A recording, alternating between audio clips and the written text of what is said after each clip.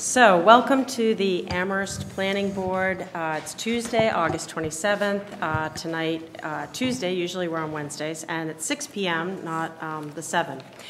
Uh, Okay, so there is six of us, one member missing. Uh, We will start with minutes first. We have three sets. Um, So we can do those. We'll start with Wednesday, June 19th. Um, Does anyone have any comments or issues or changes for those minutes?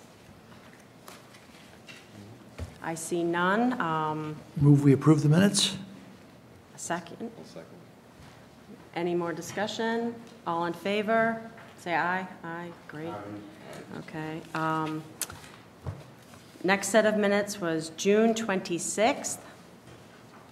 Uh, Again, any comments, changes, suggestions? Move we approve the minutes? Can I have a second? Second. Any more discussion? All in favor? Raise your hand, say aye. Great. Um, Yeah. Yes. One, uh, two abstentions. Yeah, uh, that's true.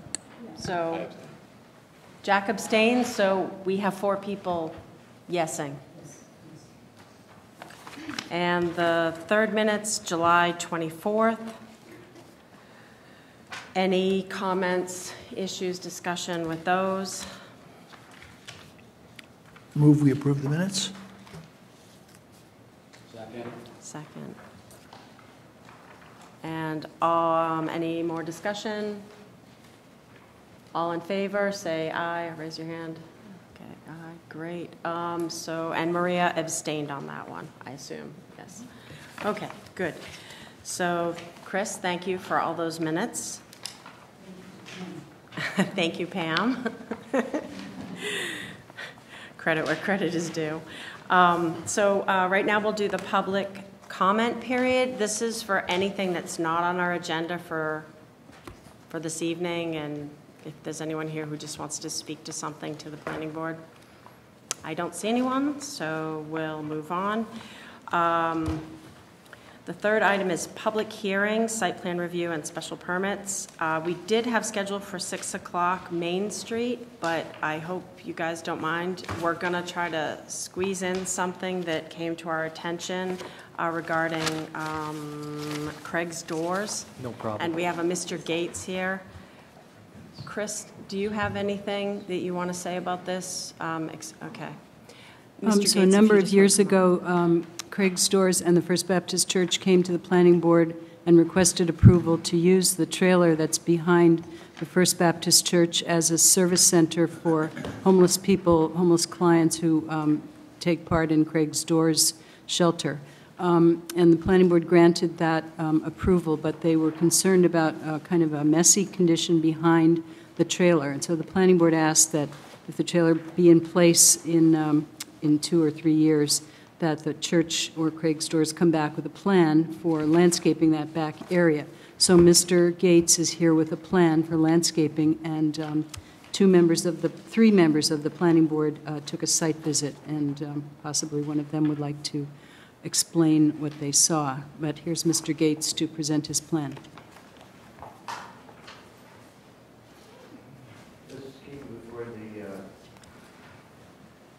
Mr. Gates, um, is the green light on? Or, yeah, Chris will. And then just say your name and who you're representing.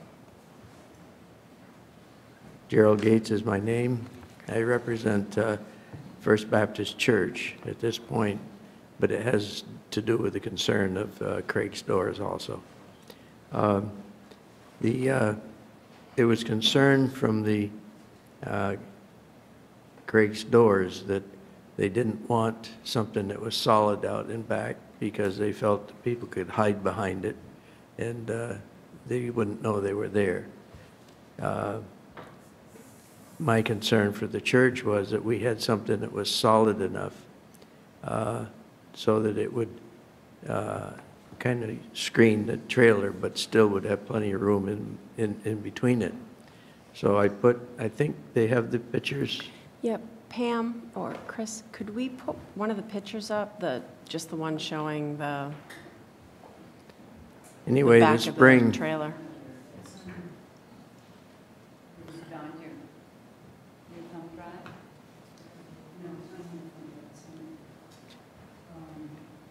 That's right. Mr. Gates, I'm sorry for the interruption. You can continue and ignore Chris Brestrup beside you clicking away. Um, this spring, I located some grasses that grow about seven feet tall, and they survived right through the winter. They didn't break down, they were strong enough. So that's what you're going to see in the picture is uh, these grass plants uh, put apart so that you can see in between. And then in the summer, uh, you'll see uh, uh, some pictures of flowers on the uh, university side of those. So as you look, you see the uh, flowers, they're, they're uh, uh, the same ones they use in pots and so forth. Uh, And uh, that would add the color through the summer. In the wintertime, we don't worry about it because the snow plows, plows up piles of snow. Sorry, I don't have the image. Um, You you all have images in your packet, and I can pass one around you. You have this one, and I, we did get that one sent to us in an email, so the, Yes. the board has Yeah, seen okay. that picture. So that's what Um, we're proposing we do. We also went over with the uh, three people that came about uh, keeping the place in order. We do park uh, two trailers in there. One of them picks up food. Today it was 1,700 pounds of food for uh, tomorrow, which we give out, the church gives out to a food pantry to about 90 to 100 families. And uh, we also provide food during the week for uh, the community breakfast. And we uh, also provide food to the cafe that operates in the church. Thank Now- you. Now, the other trailer is one that picks up bottles and cans from the landfill, and uh, we sort them in the back. Everything is undercover when we get through. And uh, those are the two trailers. The other items that are there are where the water comes up from the church down into the trailer, and also we have a marker for the sewage that goes out and goes back up to the church. Okay. Thank you. Um, It might be helpful to have a report about the site visit. Um, I don't know if uh, Maria or Janet, one of you want to, um,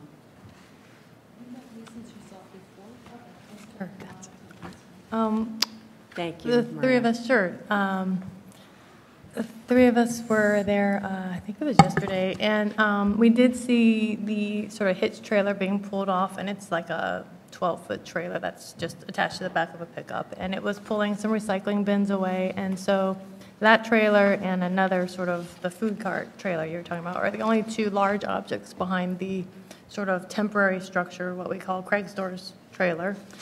And um, it was much tidier than, I don't remember what year it was now, maybe two years ago, where there were a lot of um, shop tools and paint buckets and just debris in general and a lot of bags of cans sort of along the entirety of the backside. And when we went, it was just um, a stainless steel table with some tools on top that were covered by a tarp and part of a plumbing system, I imagine. It was like a sewage ejector and then a holding tank of some kind behind the shed. And and actually looked really tidy, um, to be honest. And um, we saw the grasses, and they were maybe six to eight feet apart from each other. Um, the flowers that uh, Mr. Gates mentioned were not installed yet, but um, he provided a photo to sort of uh, um, illustrate that. But um, in general, it, it was much more tidy and clean and did not look like sort of the backyard of a space anymore. And yeah, I, I don't know if you guys have anything to add. No, these are um, photos that they're passing down. Uh, Thank you, Maria. Um, At this time, are there any questions from the board for Mr. Gates? Uh, um, So, any questions? Actually, I- I- I- Great. Um, Mr. Gates, thanks for coming. Uh, I'm just a little puzzled. A few months ago, Mr. Weiss came, as I understood, the- as the the chairman of the board for Craig's Doors. You're here on behalf of the church that owns the property that permits Craig's Doors trailer and operations to go on. And there was, you know, during, and you had appeared before, at least in while I was here, uh, at a previous um, planning board meeting. And, and I'm a little just still confused as to in what capacity who is speaking on behalf of Craig's Doors? And what, you know, what, and what authority, you know, what, what, what action's being asked and by whom? Because there's, when Mr. Weiss was here, it- that, that was, that was the central question, and that, it, it's not really been resolved as far, at least in this moment, in this, in this meeting, and so I'm just not clear as to, you know, in what, in what authority, who's asking for what here, other than to meet a several year ago, several years ago, planning board condition, right? That's correct. Uh, That was uh, Craig's Door's use of the trailer. The uh, church rents that portion that the trailer sets on. The land outside of that trailer uh, is First Baptist Church.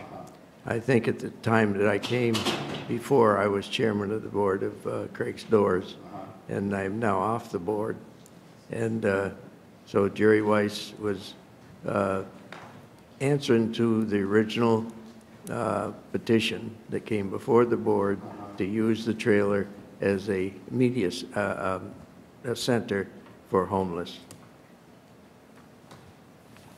And uh, I'm here representing the church and what goes on behind the trailer on the church property. So he, he was concerned of the use of the church. You granted that use, but in that granting of that use, there was a two or three-year period that we were supposed to come back and give some sort of uh, uh, landscape setup. The shelter, when Jerry Weiss was here, uh, was concerned about people hiding out back, which we're concerned about also. So I think that what I'm presenting to you uh, lasts through the winter, has camouflage as far as the parking lot of the university. And what they saw uh, the other day, uh, we agreed to keep it looking that way. Uh, And uh, so there's really two things going on here. But Jerry Weiss is more concerned about answering the two or three-year period that, that really Craig's Doors has, that you granted. So my understanding that, sorry, Chris, may I follow up? Absolutely. My understanding then is that the church will be maintaining this covering of the grasses and the flowers, Yes. that, and, and thus satisfying the condition for Craig's Doors use of the, of that space for the planning board. Yeah, they don't, application. the Craig's Doors doesn't use that space, the church uses it. The church only has granted them the uh, property that the trailer sits on. So it's really the church that is saying to you, yes, we will keep that at this point. Jack? Uh, I would benefit, uh, because I didn't know this was on the agenda. Um, Chris, can you provide some perspective and an intro, just so I can get my head back into what we're talking about here? Because I'm totally confused. So initially, if you will recognize me, initially, um, Craig's Doors approached the planning board to have a feeding shelter, or feeding uh, station in the trailer behind um, the church at the Baptist Church. The Baptist Church houses Craig's Doors, which is a shelter for people in the winter from the 1st of November to the 1st of April, but they didn't have any place to have dinner. They wanted to have dinner earlier than the shelter actually opened. So the trailer was set upon church property, and the planning board gave um, permission to have that shelter there, have that trailer there.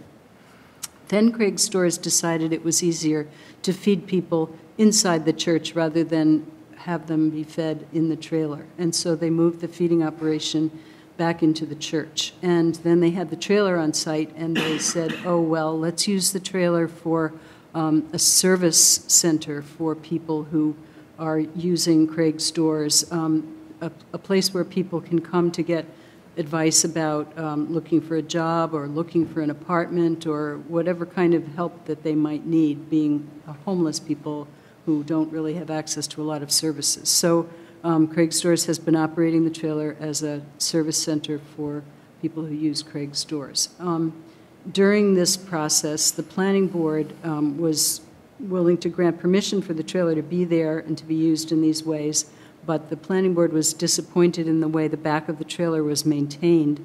Um, there's also an operation that Mr. Gates is involved in, which um, uses people who stay in the shelter as workers for the bid, and they get paid for working for the bid. So they do a lot of cleaning up around the downtown, and some of the material that they bring from downtown, they end up storing behind the trailer. So there are really kind of three uses, I guess, back there. One is uh, Craig's Doors has the trailer there.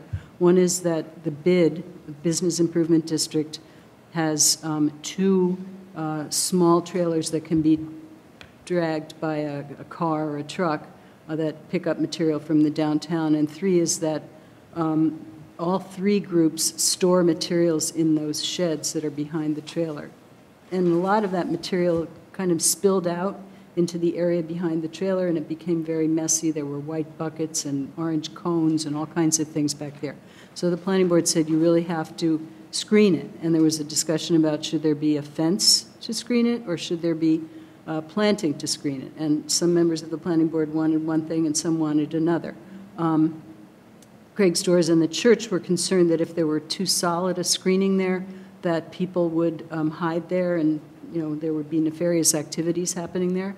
So um, the uh, church is now coming forth with this plan to have tall grasses, which will grow up to six feet tall, placed about, I think, 10 feet apart, maybe, I'm not exactly sure, but that seemed like about the spacing. And then in front of those, on the UMass side, they want to plant um, flowers in the springtime. So the people who went on the site visit saw the grasses there. They were actually planted in place, and they were probably about four feet tall as of this point. Um, and now you're being asked to determine whether that um, meets the requirement for um, providing a landscape plan for the back of the trailer. The third photo has, uh, like, is that real or is that uh, a design? That's um, a collage. A collage. Proposing what it will look like in time. Okay. It's a schematic. Uh, Yes, Janet? Um, I'm confused about who applied for the special permit and whether a person representing that group is here. Is the, because my thing says this- it's a special permit.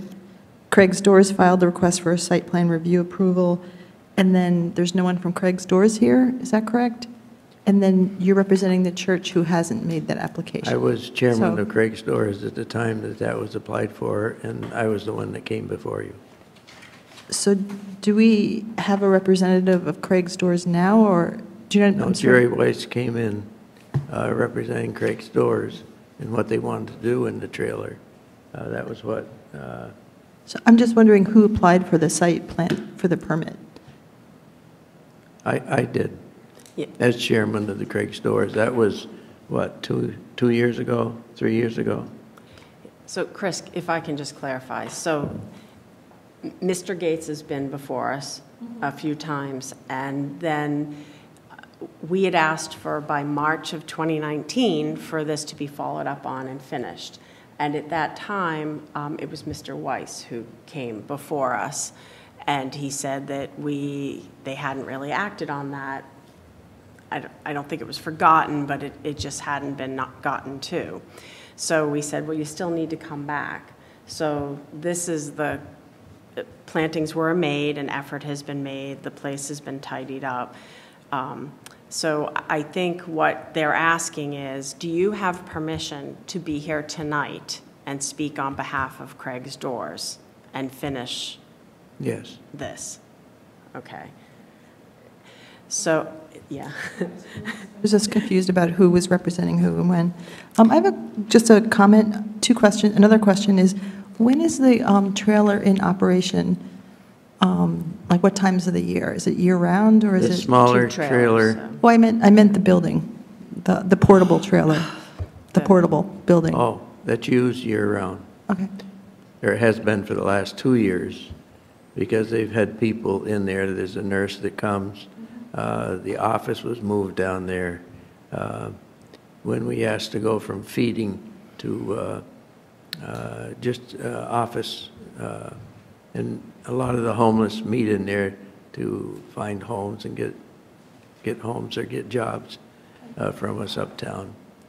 Uh, And that's what it's used for now. The last two years, it's been open all summer.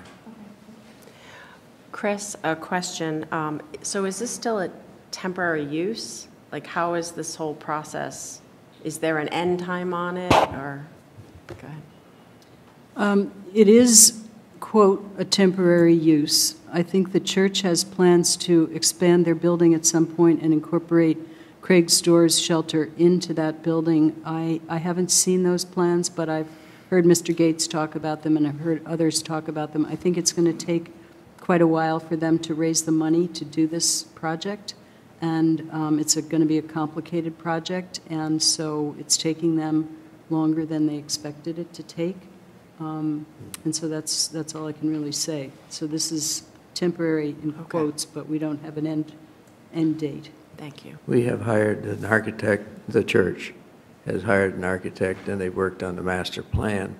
In that master plan, there is room for a shelter uh, up to or a little larger than what we have. We're year-round. Uh, They would, right now, they can't come in too early because the church is a very busy church. Uh, And when they came, it's the only place they could find in the, in the town. And uh, uh, So we said, yes, you can come in, but it's, it's got to be under certain conditions. But when we build a new one, we'll make a place for them for year-round. Um, Okay, so this is all helpful, and the temporary part sort of puts it more in a framework of what kind of problem we're trying to solve here. I have Um, to go uh, the 17th, I think it is, to Boston, because uh, Rob Morra has to turn down the request of the church to use it for shelter, because the church is not completely sprinkled. So he has to turn it down. Then I have to go to Boston, and they give me a variance for a three-year period.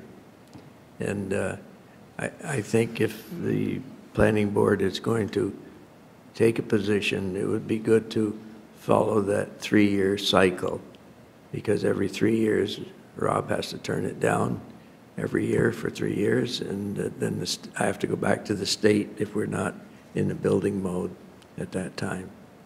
That would keep uh, the planning board up to date with what the church is doing and what Craig's Doors is doing. I hear you in the sense of that. I just, with regard to the plantings is what we're really talking Yeah. about today. It- Where we left it last time, it was sort of like fence or plantings, but the real problem was the mess. And Yeah. what I observed at the site visit is, it was neat and tidy. Yeah. So, um, and hearing about these temporary options, maybe a fence is not needed, um, and you have the grasses planted, I assume the flowers would be planted next spring? Yes. Um, Is there a way, Chris, that we can okay this, and then maybe the town follows up next summer, just to make sure, n- not just the plantings, but that it's still tidy and neat? I can make a note to myself to do that, yes. Um, Any other questions from the board? Um, Okay, so we would need a motion now, Chris, to um, approve this level of plan? Approve that this plan uh, that Mr. Gates is presenting meets the requirement of that condition that was in the site plan review approval. Um, I will just, before we, someone says, repeats that, I just want to ask the public here if there's any questions regarding this, this issue. Um, I don't see any hands, so um, is anyone here comfortable, first, anyone else have any other questions or issues, or are we ready to make a motion?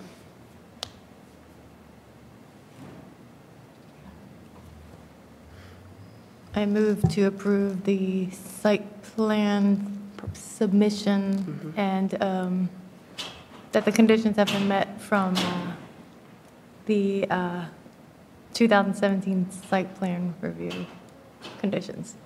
Hope I said that right. Sounds good. Enough that, um, anyone want to second that? I'll second that. Okay. Um, Is there any further discussion? Chris, anything else we've forgotten? Good, all right. So um, all in favor, say aye, raise your hand. So unanimous? Thank you, Thank you. Mr. Gates. I hope you have a green thumb.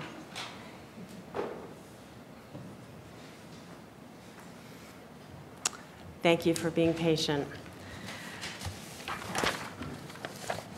Okay.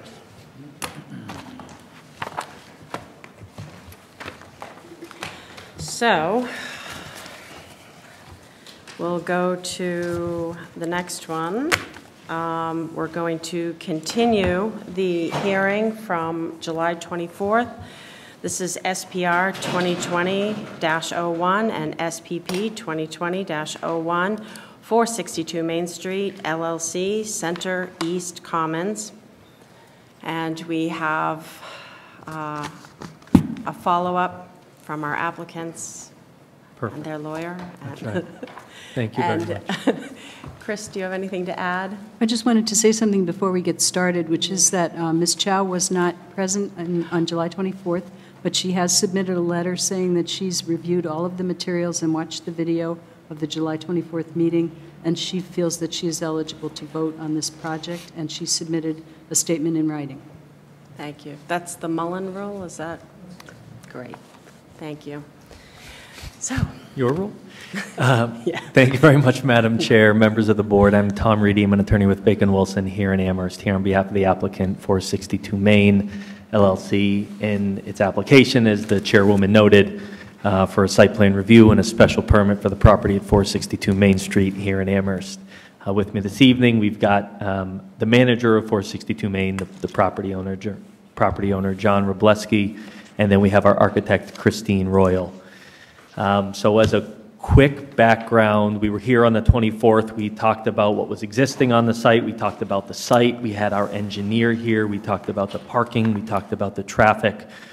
Um, We talked a bit about management, and then we, um, I think the clock struck like 10:45, and I think everybody um, turned into a pumpkin. So we are back here to hopefully talk about architecture, um, respond to any questions that you may have. As you may recall, we had a, what I would consider a short list of homework to provide to you. Um, Cut sheets for the lighting, which Christine will get into, photometric plan, which she will get into. We have provided draft copies of the commercial and residential leases. They're drafts, they're not finalized yet, but we provided those um, for your records. We've got a parking management plan uh, and a complaint response plan, which I believe were submitted initially, but we wanted to make sure that you had those.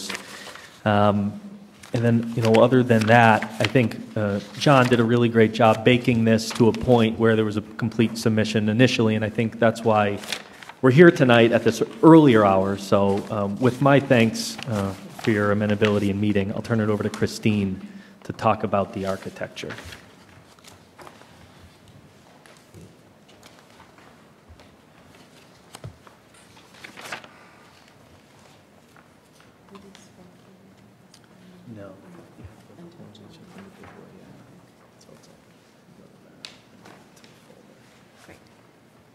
Good evening, everyone. My name is Christine Royal. I'm an architect working with Maple Street Architects out of Northampton. We've been working on this project. I'm happy to walk through the architectural design with you at this point. As you can see in front of you is a rendering of the west facade of the building. We've taken some steps to really address the massing and the scale of this project as it runs north to south uh, along this site. So we're working with a few different roof heights, we're working with stepping the building back and forward, along that sight line so that the view from Main Street is not overwhelming. Um, As Tom Reidy had mentioned in, or we had gone through the other evening, this is a mixed use, so this contains both residential, one, two, and three-bedroom units, as well as a business unit.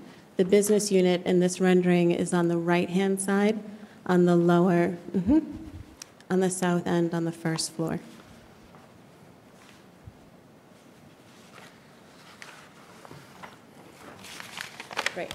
So this is the view from Main Street, and you can see the existing building on the left-hand side, and then the proposed new construction on the right-hand side, and the steps that we've taken to address the massing and the scale of the project. So the fronts are also garrisoned. There's a short overha- overhang on the first floor, as well as a porch-like overhang that's similar in language to the original building. We're also working with uh, clapboard and shingle siding, as well as the detail around the eaves and the gables to help unify the site and the language that's there on Main Street. A little hard with the shadow of the light up there. This is the site plan. I think we went through the site plan pretty exhaustively in the last meeting with the civil engineer, the layout of the parking, the existing building, all of the stormwater management. Um, So you can see that we have the setbacks um, along the sides and the rear of the building, and the existing curb cut in from Main Street and the new parking proposal. I think maybe one thing to note on this is that um, there was a a renegade step and light at the rear of that office space back here. Uh, That has been removed. We have not removed it from the engineering plans yet, but assuming, uh, hopefully we'll get approved this evening, we would update those plans and submit a final set to the town showing that the step and the light were also removed. So with regard to the overall height of the building, you can see we're just over 37 feet to the midpoint of the average height of the roofs, um, which is well below the 40-foot restriction on this site.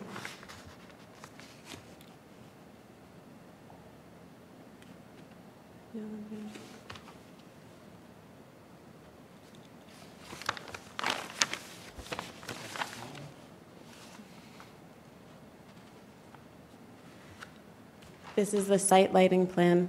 So we have three types of lights on the building or in the site. One is a site pole-mounted light. Those are called out, uh, they're 12-foot pole lights.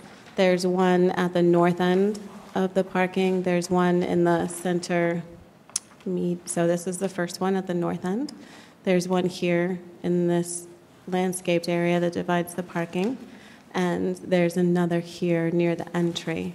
We're also working with bollard lights, so low bollard lights along the pathways that are at the edge of the parking and adjacent to the residential and business area.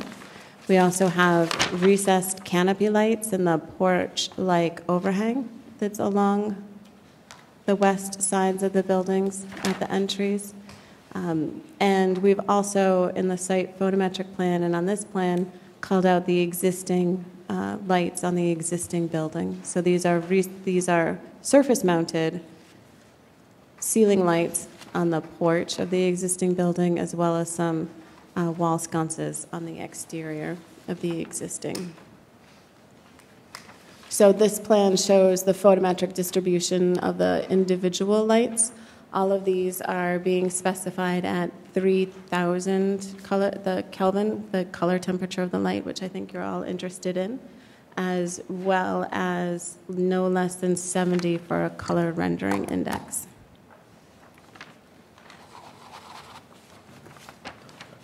Oh, yes. And of course, they're also all dark sky compliant. Thank you for that reminder.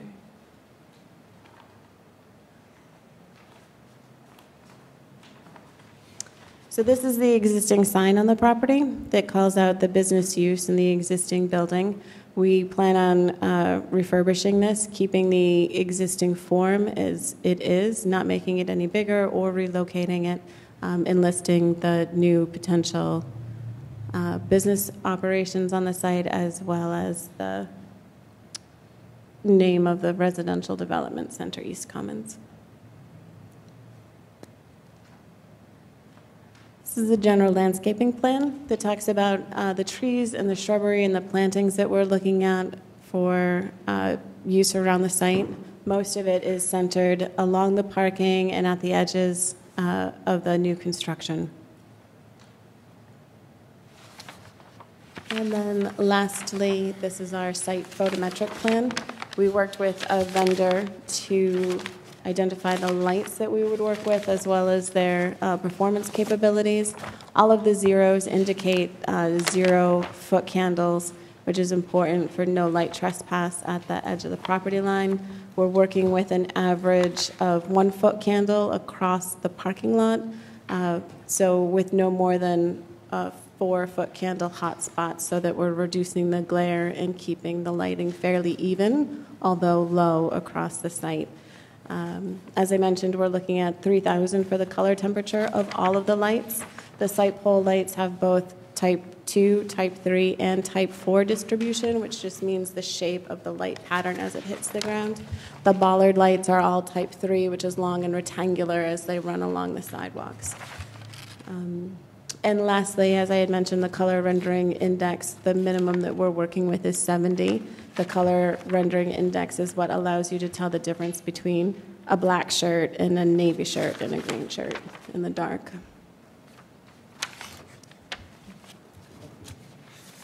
Sure. Um, So, so this photometric plan is what we worked with, with the vendor for the lights as we've put them across. There is an existing light pole at the edge of the site. That light has not been incorporated into this study, clearly. And this is the existing uh, curb cut onto Main Street.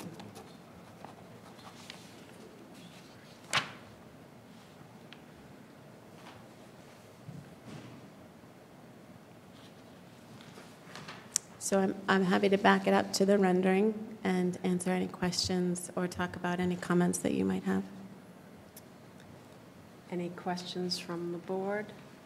They're all looking at their plans. I have a little one. Sure. Um, Either the, well, it could be the, I don't have it, the site plan that shows the lights where you're installing them. And then looking at the light distribution, I do notice the trash room, there's sort of like the ramp that goes up to it. Is there Yes. to be a wall-mounted light there or anything? Because it, it does look dark there. Sure. Let me work on um, zooming in. I have to look at the little screen to do that. Where's your zoom button? Oh, here we go.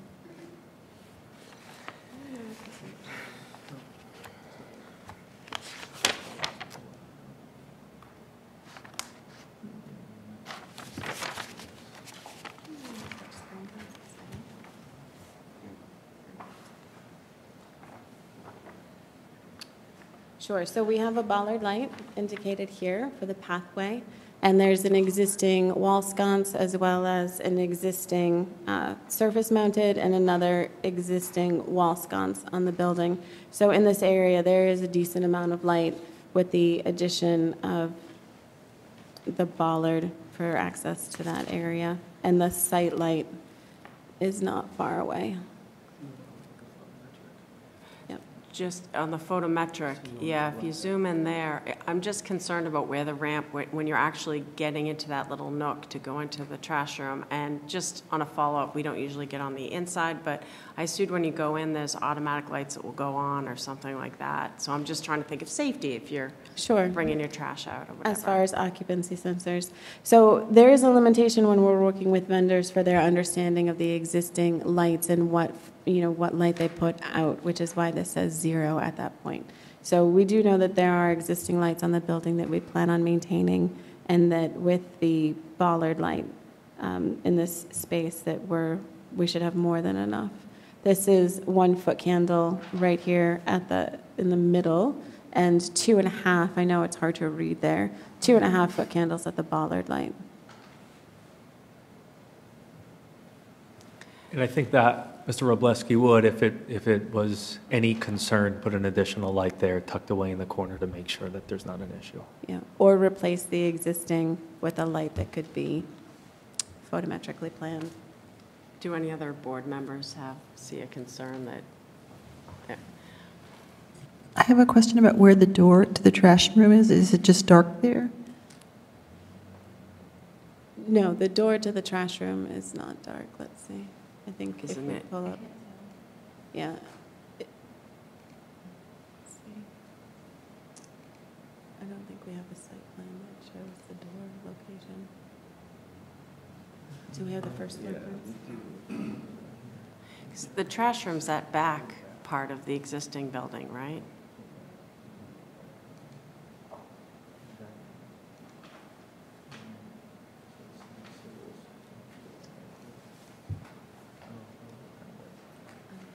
No, I don't.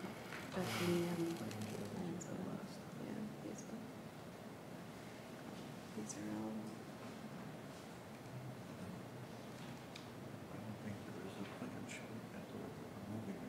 Yeah, this- these are all the new ones.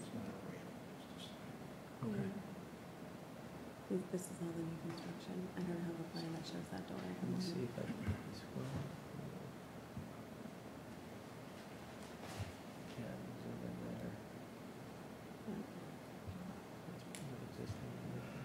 Yeah, so this is, this is a sidewalk going into the trash room, and the bikes are at the, on the side, the bike shed. Yeah, letting it catch up a little bit. Yep.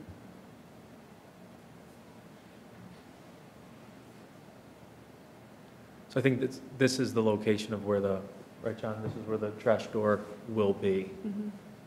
It's currently on the north side, but it's being relocated to, to this side at the end of that A sidewalk. sidewalk. And if you could just pull that down a little bit? Yeah, um, this, this seems to be frozen. It's Oh, well, we taking a hadn't moment to talked about update. the wheelchair ramp that's there for access. Is- Is that what that is there? N- On the north, uh, the north side of the building?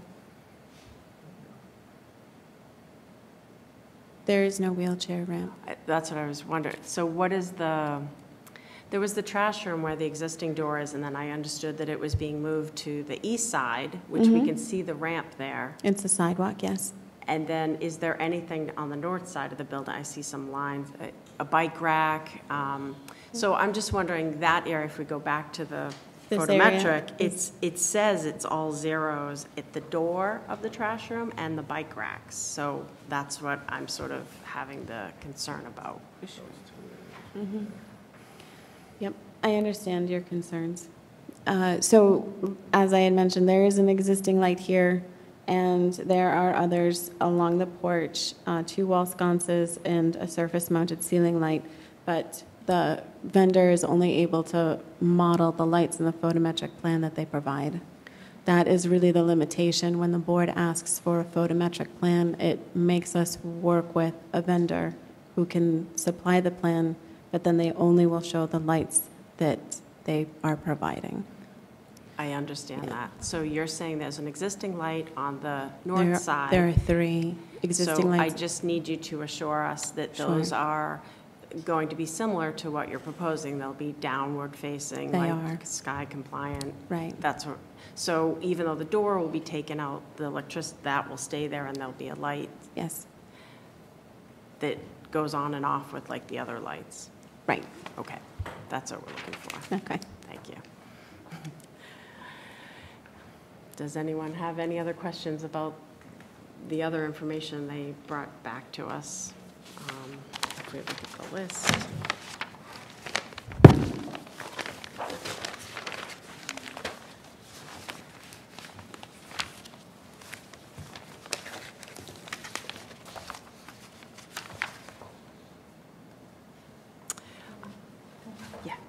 I just had a question about the sign. I know we got a photo in here. that Yes. Is showing a light that is in a bush. Oh, yeah, yeah, yeah, yeah. The Yeah. Existing, yeah, yes. So this is the planted area, and there is a light here for the sign. Let's see if I have a better picture of that.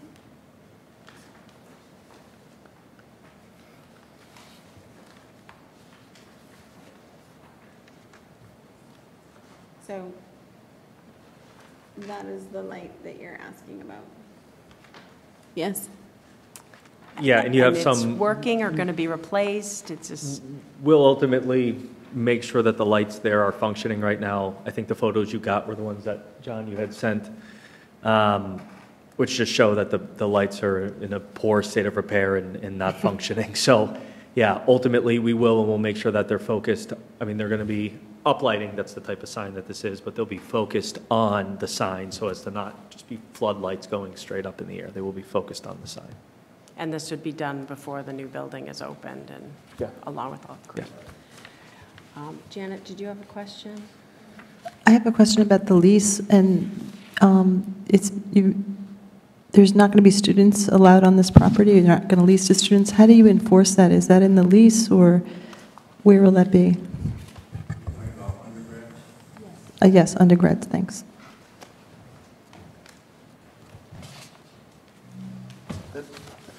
That's a policy of ours, you know, we have the property next door, and that's really enforced through the vetting process, the application process. The students are not a protected class.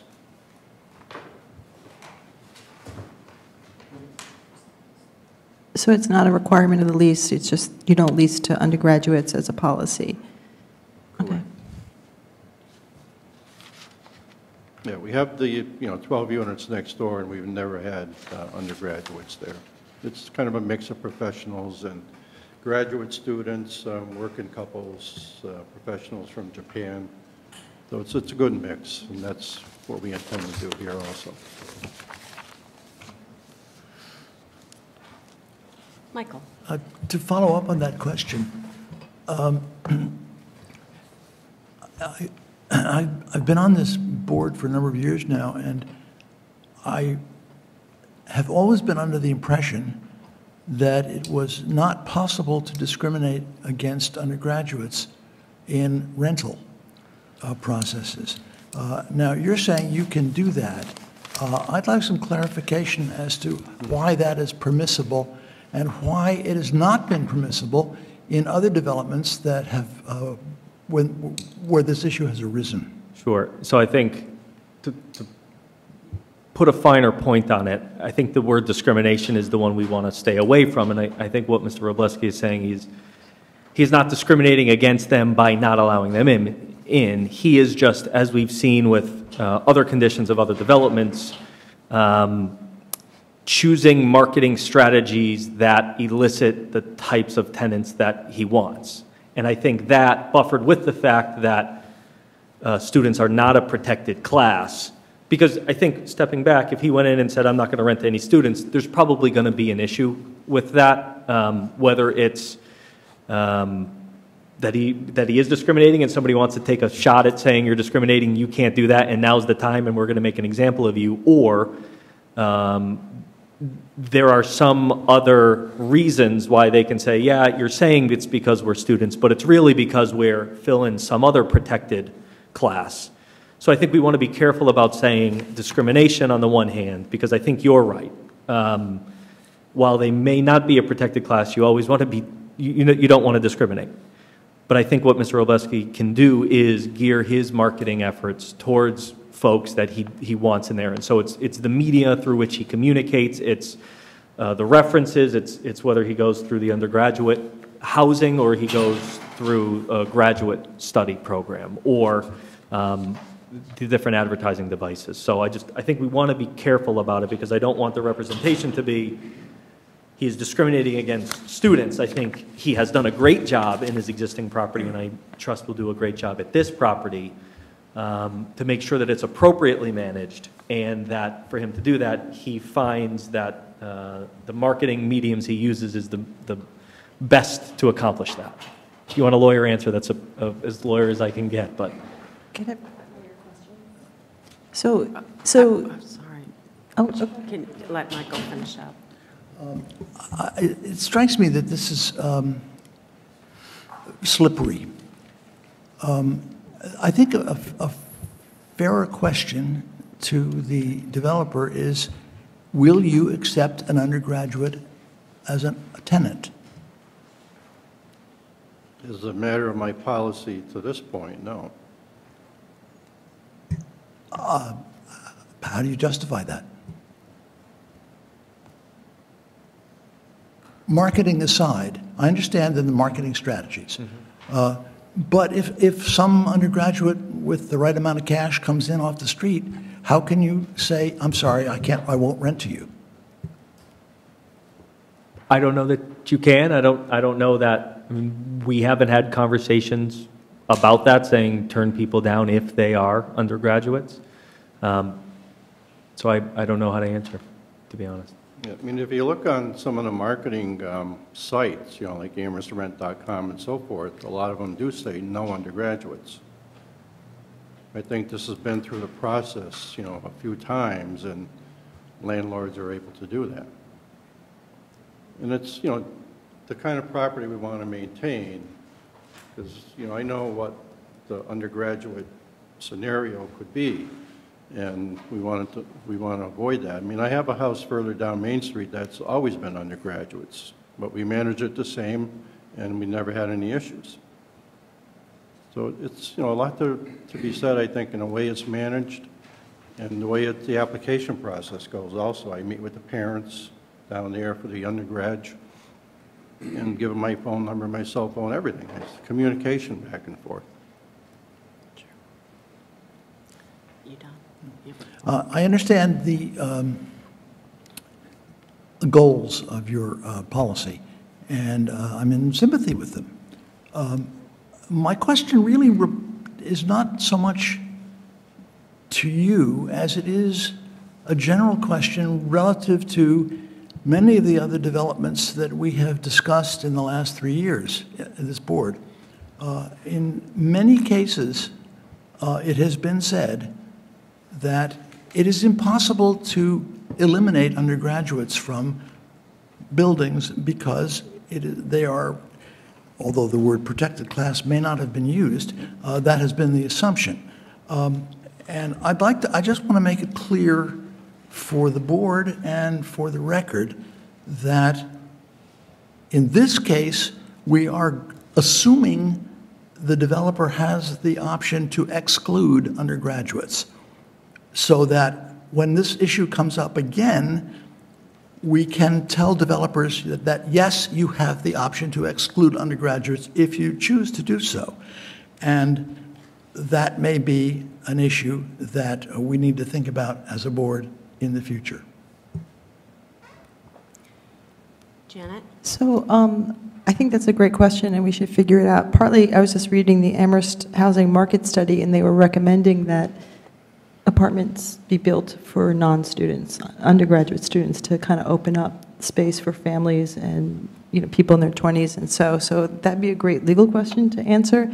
But it also makes me look at this building somewhat differently, because you're not going to always be the owner of the, of the building. And so I think we have to consider that in the future, you know, these apartments could be filled with undergraduate students or partially filled, and what would the impact be on the neighborhood in a building that's maybe not so well managed? I know we have the bylaw and things like that, but I think we should look at it as, this looks like it's going to be a really well-managed situation, but future owners may not adhere to that, and so we should think about that impact as we discuss.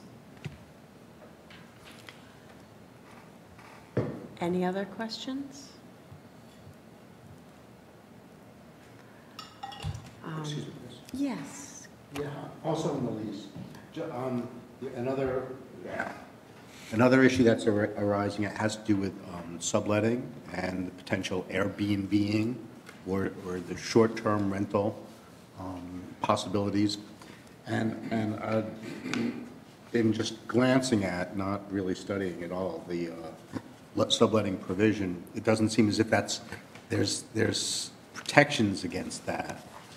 Um, And I'm wondering if you've given that thought, what your thoughts are, if they're, if- if it's consistent with being concerned about you know, short-term turnover and, and, and- and conversion, of your use of these spaces for other purposes, um, uh, how, how you would protect against that? Well, our subletting policy, as it says in the lease there, is, you know, they, the subletter would have to go through the same application process as the original tenant. So we would go through that same process, and, and not until I approve that sublet are they allowed in. So as far as the Airbnb, I've never really considered that type of thing, but I understand what you're saying. Um, I don't foresee that ever happening. I mean, I have two daughters. Uh, One of them is very interested in real estate, and I foresee it staying in the family for a good long time. So I guess I can't answer what's going to happen, you know, 20, 25 years down the road, but uh, all all I can say is that's our intention at this point, is to manage it the same as we have next door and further down Main Street with the undergrads. And I think if, if the, the short-term rental, the Airbnb is, I think it's likely deemed some sort of subletting, like a quasi-subletting. And I think if, if uh, a a tenant were to, I mean, because Airbnbs are advertised online, and so if Mr. Robleski saw that one of his units, one of the uh, units was advertised online, I think the next thing is a, a call or a visit to the person that's there saying, you know what our subletting provision is, and then I think the next step is for us to have a conversation about whether Airbnb makes sense at all, short-term rental makes sense at all, because I think part of it is, um, if somebody's um, hard up against it and they're a professor and they're going to visit at some other university, can, and they have to pay the rent to Mr. Robleski, but they can't find somebody to take their lease, what can they do? And is Airbnb some sort of solution? And we just haven't vetted the question yet. Um, But I don't think just on its face, it's something that we should immediately say no. Um, But it's something I think we have to talk about some more. Could that possibly be a condition of the approval? I mean, I'm okay with that. I mean, I'd, rather than get into a situation like that, I would let the unit stay vacant for a period of months until the next turnover time. Is that something we usually do? with- Is that exactly what was the question? Um, What, what could be a condition of the approval? I wasn't sure that I understood that. Um, Well, it could come from the board, or do you want to propose what you'd be comfortable with putting on the, as a condition? Or You're would- asking me? Or you I mean, do? yeah, I, I would suggest that he not put that condition on if, if Okay. it was up, if it was up to me. I'd say, of, of course, I mean, leave it to see what the, the market dictates, and then if, if there's an issue, then, um, I mean, we can address it at, at that time, but I think just to, I think John has proved himself as a, as a a valuable property owner and property manager. I think you've got, I've taken a look at the list of potential conditions, and you've got one in there where if John's no longer the, the manager, the next manager has to come in at a public meeting and, and review and have that new management plan approved. Um, which I think, if there have been issues at the property at that time, there's the opportunity to address them. So, um, I would suggest we don't impose that condition. Okay, thank you for making that clear. Sure. So does the board want to propose something that's a condition? Are we talking about Airbnb specifically? I'm just thinking about the expansion of the, the, the, po- the possibility of of of tenants, current tenants, posting online, whether it's couch surfing or, or, or, or, you know, you, moving into the common room and and then, then, then posting online the bedroom for short-term rentals that may fly under the radar of the otherwise vigilant and scrupulous Mr. Roblowski. I'm, you know, I'm, I'm confident in, in the management, but, but I'm just, I'm, as these things develop and we are trying to not anticipate 30 years in advance, but be a little more proactive in, in thinking about develop, you know, changing uses to the, the projects that are approved. Could, could I jump in? I have, I have that in my leases with my tenants that they cannot do Airbnbs. I just don't really want them profiting off of my, that way, so that could be a lease condition. So are you proposing that we put a condition that they do not allow for Airbnb or anything like that in their buildings? Mm-hmm.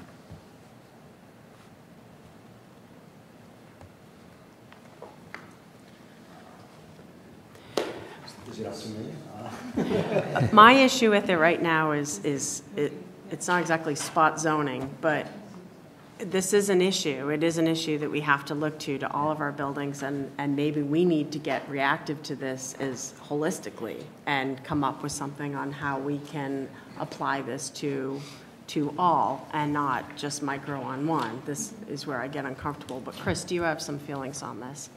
Well, I think the state is coming up with some regulations about this, and the town probably should look at this very carefully. I think the intention is there to look at it, there just hasn't been the time. And it does seem to me to be a more global problem than just focused on this particular property. So I think that, you know, as a town, we should really look at this issue, but perhaps not um, make this condition for this particular property at this time. I feel comfortable that he's an experienced landlord, and it's pretty obvious that he wouldn't want to have Airbnbs coming in and out of his building. Uh, You expressed how careful you are about subletting, um, so I assume that that would just go to a higher level also. Um, It it is an important issue, and it's going to keep coming up, but um, so, uh, you know, Chris, please, uh, not Jen, please, you know, keep us abreast of, because I know the state is trying to, you know, they got the taxes out, now they're cranking on some, and, and it is changing all over the country.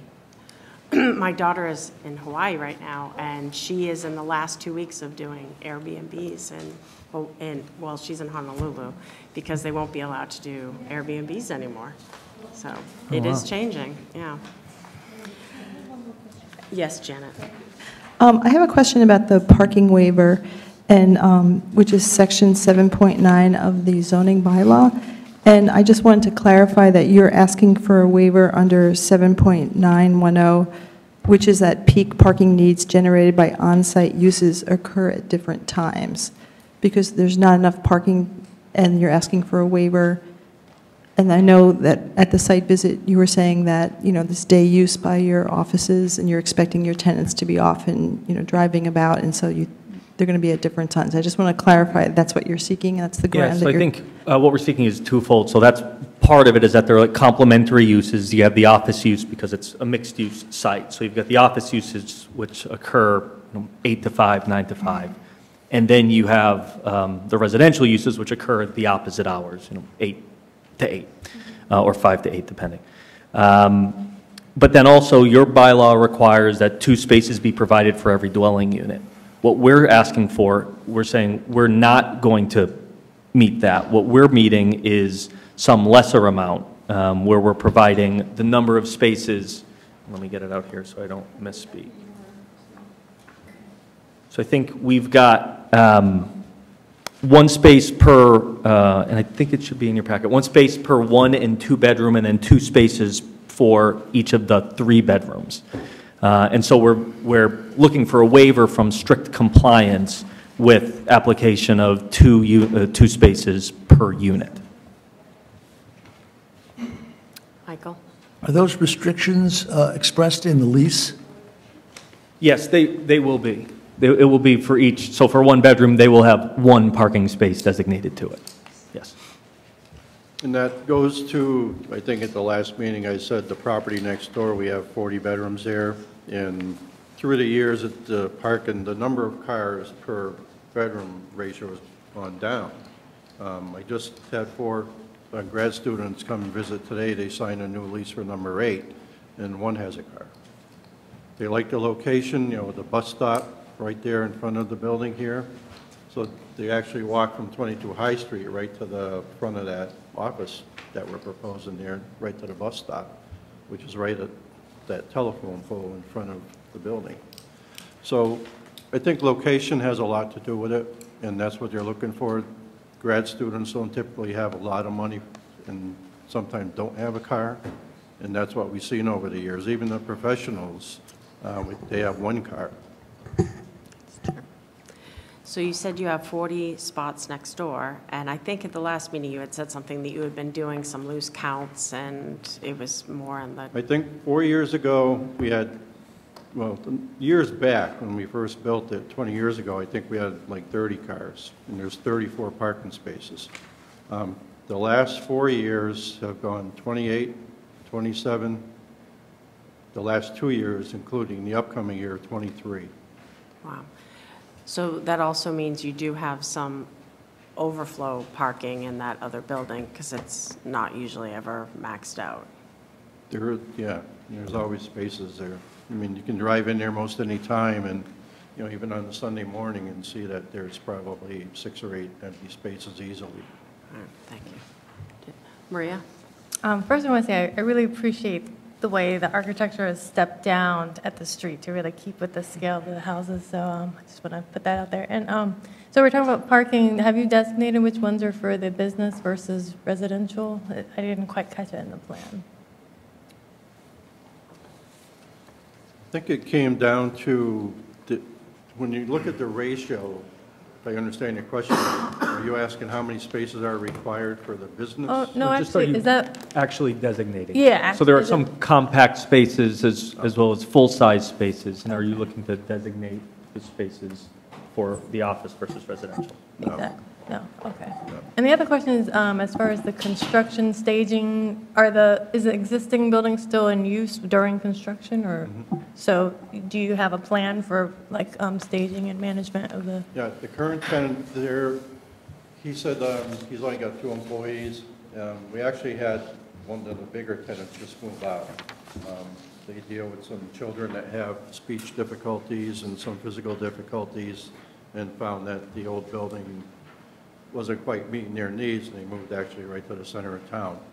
So the one tenant that's still there is the Crossman Properties, and he's the one that's going to move into the new but he can stay there, you know, during that time. Um, He's familiar with the VFW, and if you remember, we have the uh, permission from the VFW, which is directly across the street. So we don't foresee that as an issue. Janet? So I, I, um, I have done some bad math on your um, parking thing, because I thought that you were, had enough spaces to account for your, your residential use. And so I see in the parking waiver section that if you have peak parking needs generated by on-site uses occurring at different times, I was thinking, oh, okay, so, you know, people are out during the day, the offices. I don't see anything in the bylaw that lets the board just say they wanted less they didn't think they were going to need that much. And it- there are some conditions that we could reduce it, but I don't see where that would be met by just saying, we just don't think we're going to need that much. And so that's sort of my, where I'm hanging right now. Chris? Um, We have traditionally relied on Section 7.9 of the bylaw, which says any section or subsection of Article 7.0 parking regulations may be waived or modified by the permit granting board or special permit granting authority authorized to act under the applicable section of the bylaw for compelling reasons of safety, aesthetics, or site design. So I think that's what they're asking for, um, their modification under, 7.90.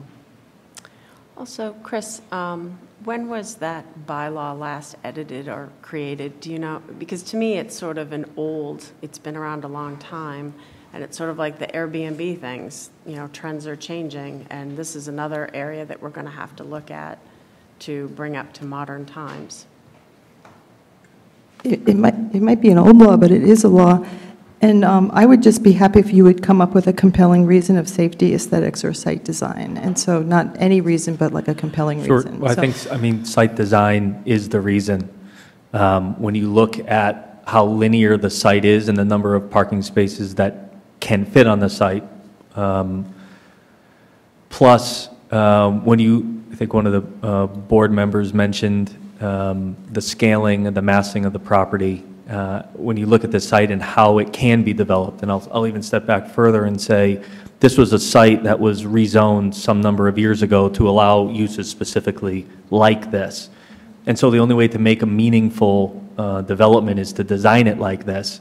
And so what we've got to do is, because of the linear nature of the site, um, place the parking on each side of that drive aisle, and as a result, there's only a certain number of parking spaces that we can get, where we end up with the 32. And I think with that, um, especially giving past planning board practice, um, Mr. Robleski's uh, testimony relative to the, the actual number of parking spaces that are needed, we think that those are both compelling reasons, and I think site design and even aesthetics um, are, are what the, the board should rely on. Well, if I may speak, you know, to the site design, if you remember, you know, I met with the neighbors, um, well, was here tonight, and talked about designing so we could save some mature maple trees that are currently giving them some shade protection, you know, from the buildings there and anything that goes on there. So the one island that we have um, in between that the upper part right there, there's like a 24-inch maple tree there. And that, you know, gives shade to the property to the uh, west. Then on the north end of the parking lot, where I think we talked about that one 12-foot light pole is, um, that gives the shade and so forth to the house directly to the north. Mm-hmm. And that fence that's actually shown there is, is installed, we put that in last week. So that white fence, the six and a, mm-hmm. six-foot-high white uh, vinyl fence that now comes around the corner, and they like the way that looks. It Gives them kind of a sense of a more private yard. So that's, you know, part of the, the design aspect too. Mm-hmm. Jack? Uh, You mentioned you have uh, excess parking on the neighboring lot that you manage as well. Is there a path that would be available in terms of being able to walk uh, if that is overflow parking? Is there, Well, like, yeah, they currently do walk. They walk like, see the existing sewer line there in front of that building? Right there. They walk right down the sidewalk there and then right along where the drainage right there, and they go right to the bus stop. Um, They've kind of created a path there, I don't provide a path there. You know, kind of like cows Cow going through pathing. pasture to get. Well, I figured there was something Yeah, yeah. And, you know, but yeah, I guess they can certainly park next door if I have the spaces, but I don't want to say, yes, you can park over there.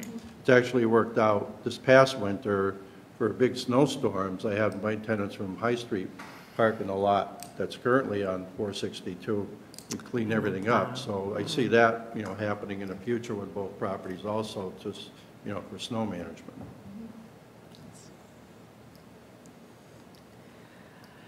Um, I will bring up the, um, how you had gone to the uh, Historical Commission, and um, they deemed the, I don't know, shed or gar- Sure, barn, whatever it yeah, is, the garage. historical. So they did put a 12-month delay on it, but they said that the delay could be lifted sooner if you um, come up with alternatives to why it's, or why it's not feasible.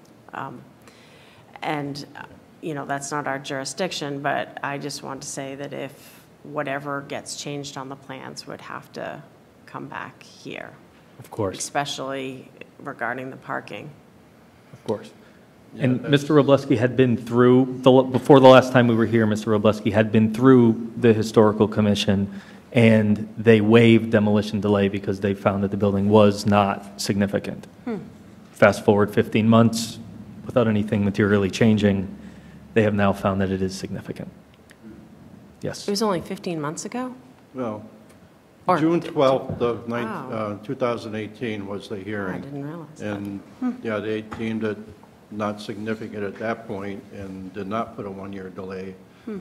So now there it is. Oh, I had no idea. All right, so as long as you know that. Yes. um, Any other questions from the board? Okay. um, At this point, I'm just going to open it up to public comment. Is there anyone here who has any questions for this? I, I nope, someone just got, um, nope, no questions? Okay. Um, So, Chris, at this point, I have a list of possible conditions, and I don't know if you've added any more, but um, having not done this before, do I go through each question and just solicit comments from the board if anyone has? Please. So um, staff came up with um, some suggested conditions for you that are based on other projects that we've done in the past. I did review them with the building commissioner, um, and I think they're, the conditions are in your packets, the ones that were mailed to you. And you could go through those one by one and decide whether you think those are appropriate or not. Um, Another thing you could do is um, just kind of put this public hearing on hold and go on to the next one, the tree hearing, because I know there are a lot of people here, and then go back to this one. I think it's going to take you a while to go through the That's conditions. exactly what I was And then you're thinking. also going to have to go through your site plan review criteria um, in 11.24. Exactly, yeah. So there's kind of a lot of work that still needs to be done on this project, and, um, you know, if you think you can put this one on hold and go to the tree hearing and get through that quickly, you could come back to this. I'm just suggesting that as a I possibility. agree. And do I go through the conditions first, or go through the, um, the other list? Which do I do first? Sometimes if you go through the criteria, it elicits n- new conditions. I mean, you can do it either way. Okay, that's, Either all way. right, we'll do the criteria and then we'll do conditions. All right, so um, because we have a room full of a lot of people who I know who are waiting for the tree hearing, I- I have to maneuver you guys around again. I'm so sorry. Thank you for your continued patience. But, um, so we're, do I have to take a, make a motion to put the public hearing on hold, or can I- Could take a motion to suspend the To suspend until later this evening? And come back to it later in the evening. Can you do a? um, And it's okay for our Michael, architect do you wanna to Do a motion? leave? Is- Our, ar- our architect can leave, we don't need to. I don't know if there's going to be any other questions. Let me, for her. are there any other questions for the architect? I see none. Thank you Okay, so thank you. much. Uh, So, what- yes, This is not so much a question as it is a comment. Um, And I want to, I want to commend the architect and the developer for creating a project which beautifully fits into the existing landscape uh, and provides, in my view, all of the aesthetic issue, it solves all of the aesthetic issues that infill development raises so often in this town. And I think this is an excellent example of uh, developing more housing at a scale that is appropriate to the neighborhood. And I think the two principals should be commended for this. Thank you. Yes, Janet. Uh, My math was wrong, so the 32 spaces fits in very nicely with the exception about the use. So I I don't, I shouldn't do this on the fly, so I I don't think you have to reach to compelling reason, so. But I agree with the remark that this is a very attractive po- project. I appreciate that. That the packet was very well prepared. Thanks. Great, we'll thank you. We'll see you later. So, do you- someone want to make the motion? Move to conti, to continue the hearing, till later. suspend the hearing till later in the day. Second, second, yeah, that, okay, all in favor? Yeah, aye, great, uh, unanimous. Okay, so let me just organize my papers for a moment.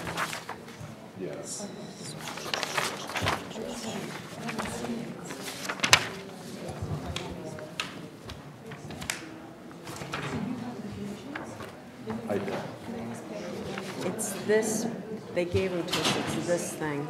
And it's a two-sider with lots of writing. Oh, Mr. Snow. Eek.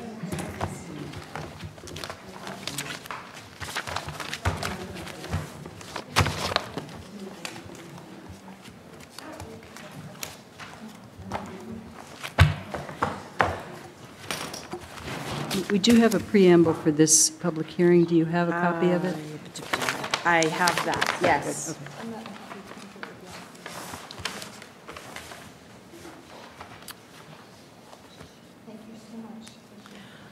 Okay, all right. So I'm going to start the next hearing in accordance with the provisions of MGL, Chapter 40, 5C, Scenic Roads, and Chapter 87, 3, Shade Trees. This joint public hearing between the Planning Board and the Tree Warden has been duly advertised in the Daily Hampshire Gazette and posted in Town Hall. Hmm, So scenic road tree removal for construction of a mixed-use building and site improvements in the town right-of-way. 133-143 Southeast Street, map 15C, parcels 3 and 4. The public shade trees impacted by this project include the following sizes.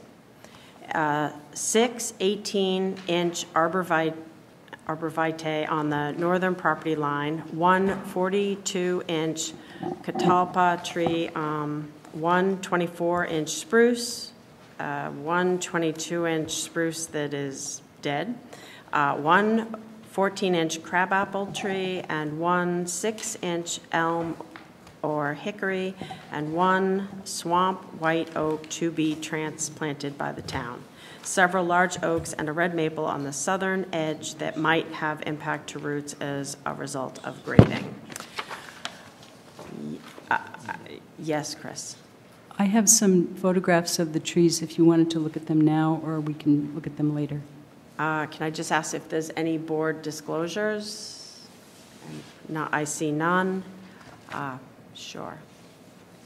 These are photographs that were taken over a period of time. Um, The ones without any leaves on them for the catalpa were taken last spring, and then there are some more close-up photographs that were taken recently of the, um, the cavity in the uh, catalpa tree. We also have some photographs of the spruce trees, spruce tree, and these were sent to you earlier today. So I'm just going to run through them quickly, and then perhaps um, there may be a presentation by someone in the room. Could you hit the expand square so they're bigger? There you go. That's better. So this is the catalpa in front of um, the building that's directly behind the Florence Savings Bank, taken from different angles. This is the cavity in the tree where the three main branches come together. I'm sorry if I jumped ahead of Mr. Snow. He may, may have been the better person to give this presentation, but I just wanted to show you these pictures. It's good to see them, because then we know we can refer back to them, and it won't be the first time. So these are the ones that were taken more recently. This is the crotch of the tree. And this is down into the crotch of the tree. And you can see the tree is split, splitting. It's being held up by cables at this point. This is one of the really beautiful big branches. So I think that's the end, end of the catalpa, is that right? No, this is taken from the property line, looking directly down the, south down the property line, and you can see one of the cables has disengaged, um, but there are more cables holding up the branches. And I think that's it for the catalpa. And then we have a couple of pictures of the spruce. Let's see, how do I get back there? What is it, the spruce? And this spruce is described by Mr. um, Snow, he'll describe it later, as being a healthy, mature spruce tree. But um, he did note at one point, or somebody noted that it has a split trunk. So this is a close-up, and this is what it looks like from a distance. So I will um, cede my time to Mr. Snow, excuse me. Welcome.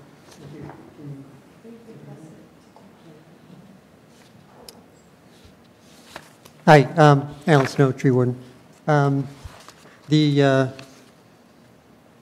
board was, I believe, sent the uh, um, memo I sent out today about the uh, condition of, the current condition of all the trees, if you want to refer to that. And I just want to ask, how many members of the board were able to visit the tree? Just about everybody, great. Maria, Um, you haven't been at any of the site visits? Oh, Okay.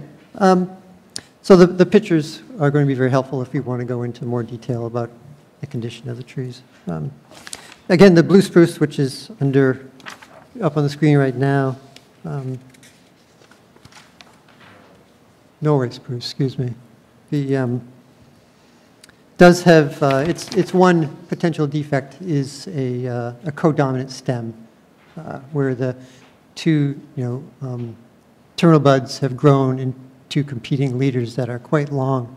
And those are historically, you know, the weak uh, link in a, in a spruce tree like this, of this size. And the, there were, there was another spruce tree in front and one behind as well, um, sort of east and west of that tree, that also have already failed.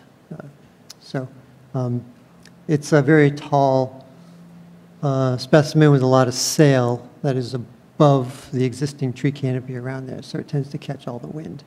Uh, let's see. Do you want individual questions on each tree or wait till the end? Okay. Thanks, Janet. You can go tree by tree. yeah. Is it, is it better for um, the spruces to be together? Like, is it at risk because it's exposed, or is it tougher, tougher life for it? So um, trees, generally, when they're grown together, like in a stand, a trees, a a grove of trees, they do protect one another, and they do force the tree to grow uh, sort of s- straight up to compete for light.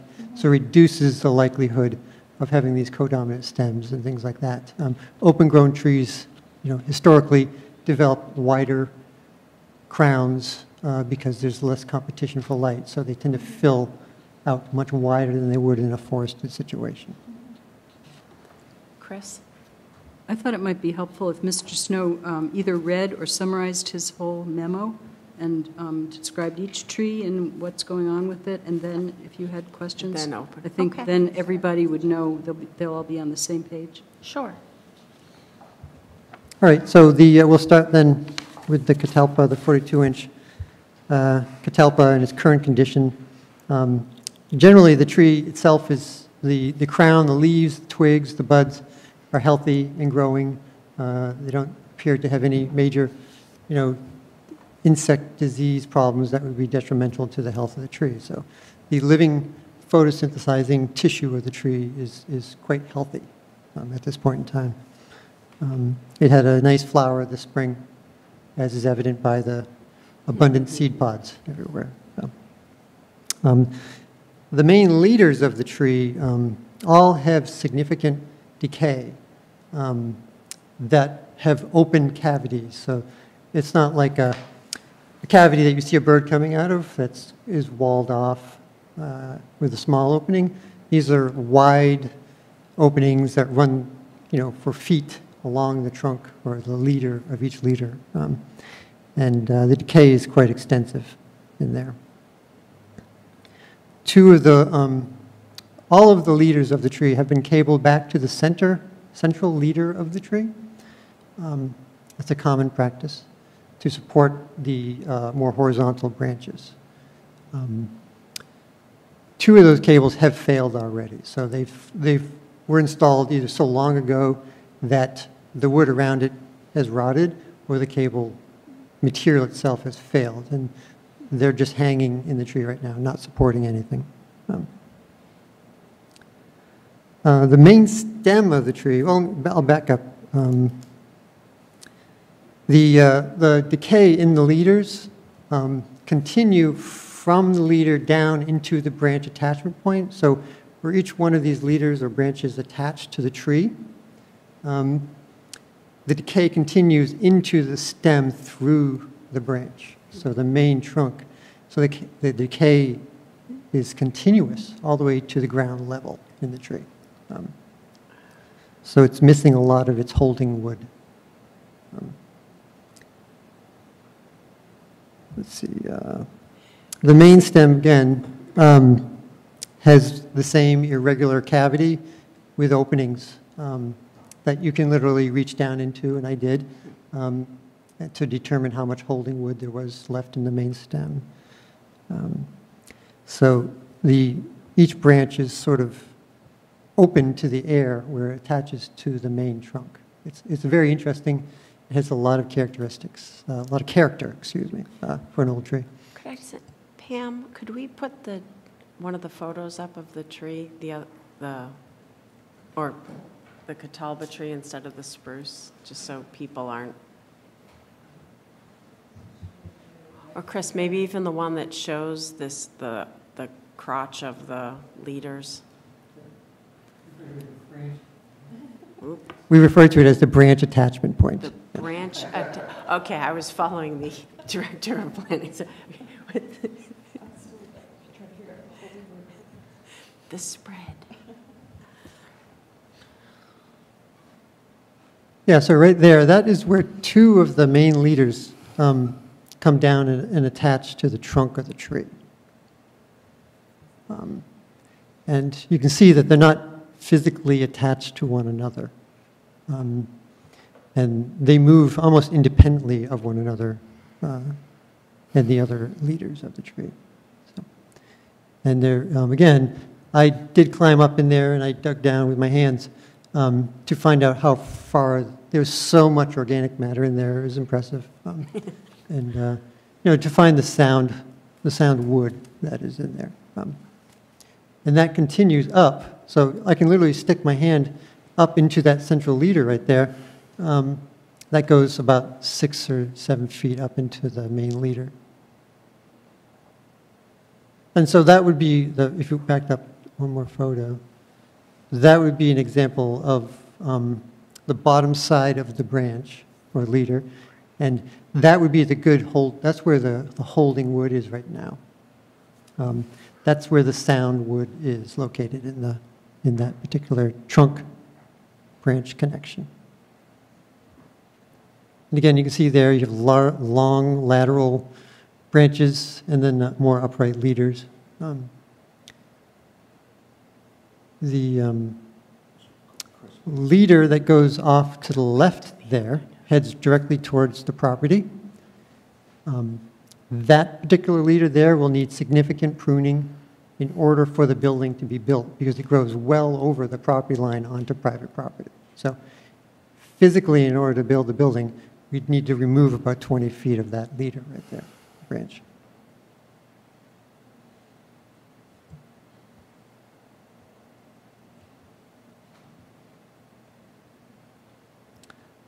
Um, So um, in discussing, um, you know, tree, arborist tree uh, people, uh, tree wardens, you know, we're always, we're, we're doing risk assessments on everything we look at. And we do it all day long. Um, So risk requires um, there to be something there that you, you don't want to be damaged. Uh, It could be a car, parking lot, a house, picnic tables, people walking on the street.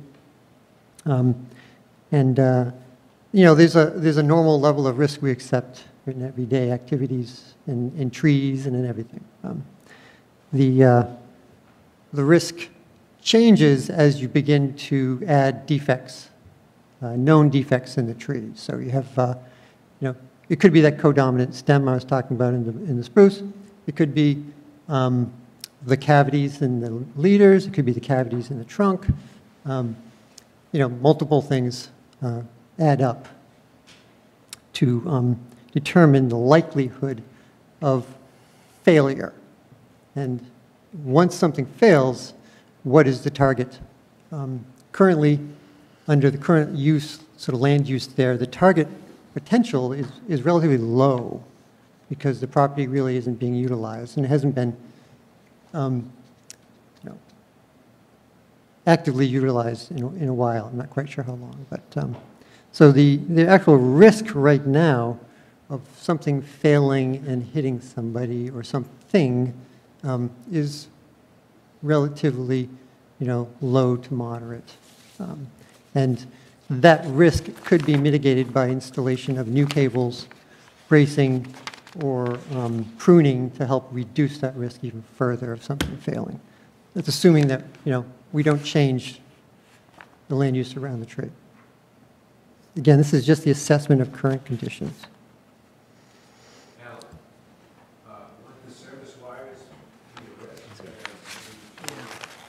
Can you hold your questions till later? Thank you.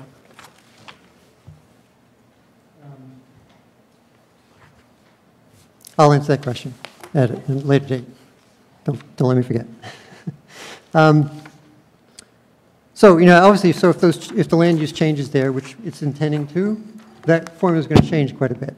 Um, And in order to make the tree, um, to mitigate that risk, some of the common practices that are done is to do exclusion zones where you physically put up a barrier to stop people from going underneath the tree.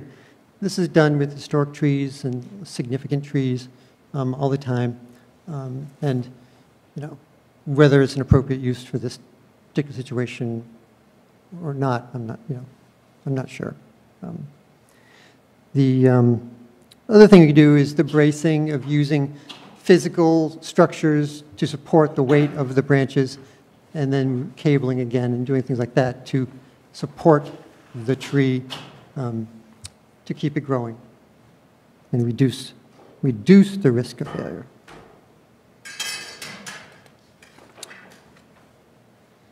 Uh, So the, the the spruce tree, we already discussed. Uh, The one, you know, risk factor in the tree is the codominant stem, um, which again, could, could be mitigated through cabling or bracing. The 14-inch multi-stem crabapple appears to be a healthy crabapple. Uh, Like most crab apples, it's full of, full of um, water sprouts and suckers and needs a lot of pruning um, to get it back into shape. Uh, The arborvitae, um, you know, it seems to be a typical arborvitae head that, hedge that is getting mature. um, And uh, doesn't appear to be anything necessarily wrong with it, with it at this point in time.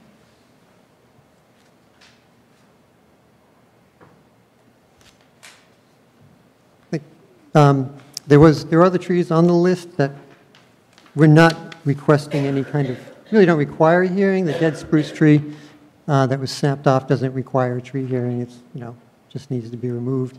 Um, There's also another clump of um, vegetation to the south of the property um, with a dead elm tree in it. Uh, I think that was referred to as a, as a um, uh, hickory, I think maybe.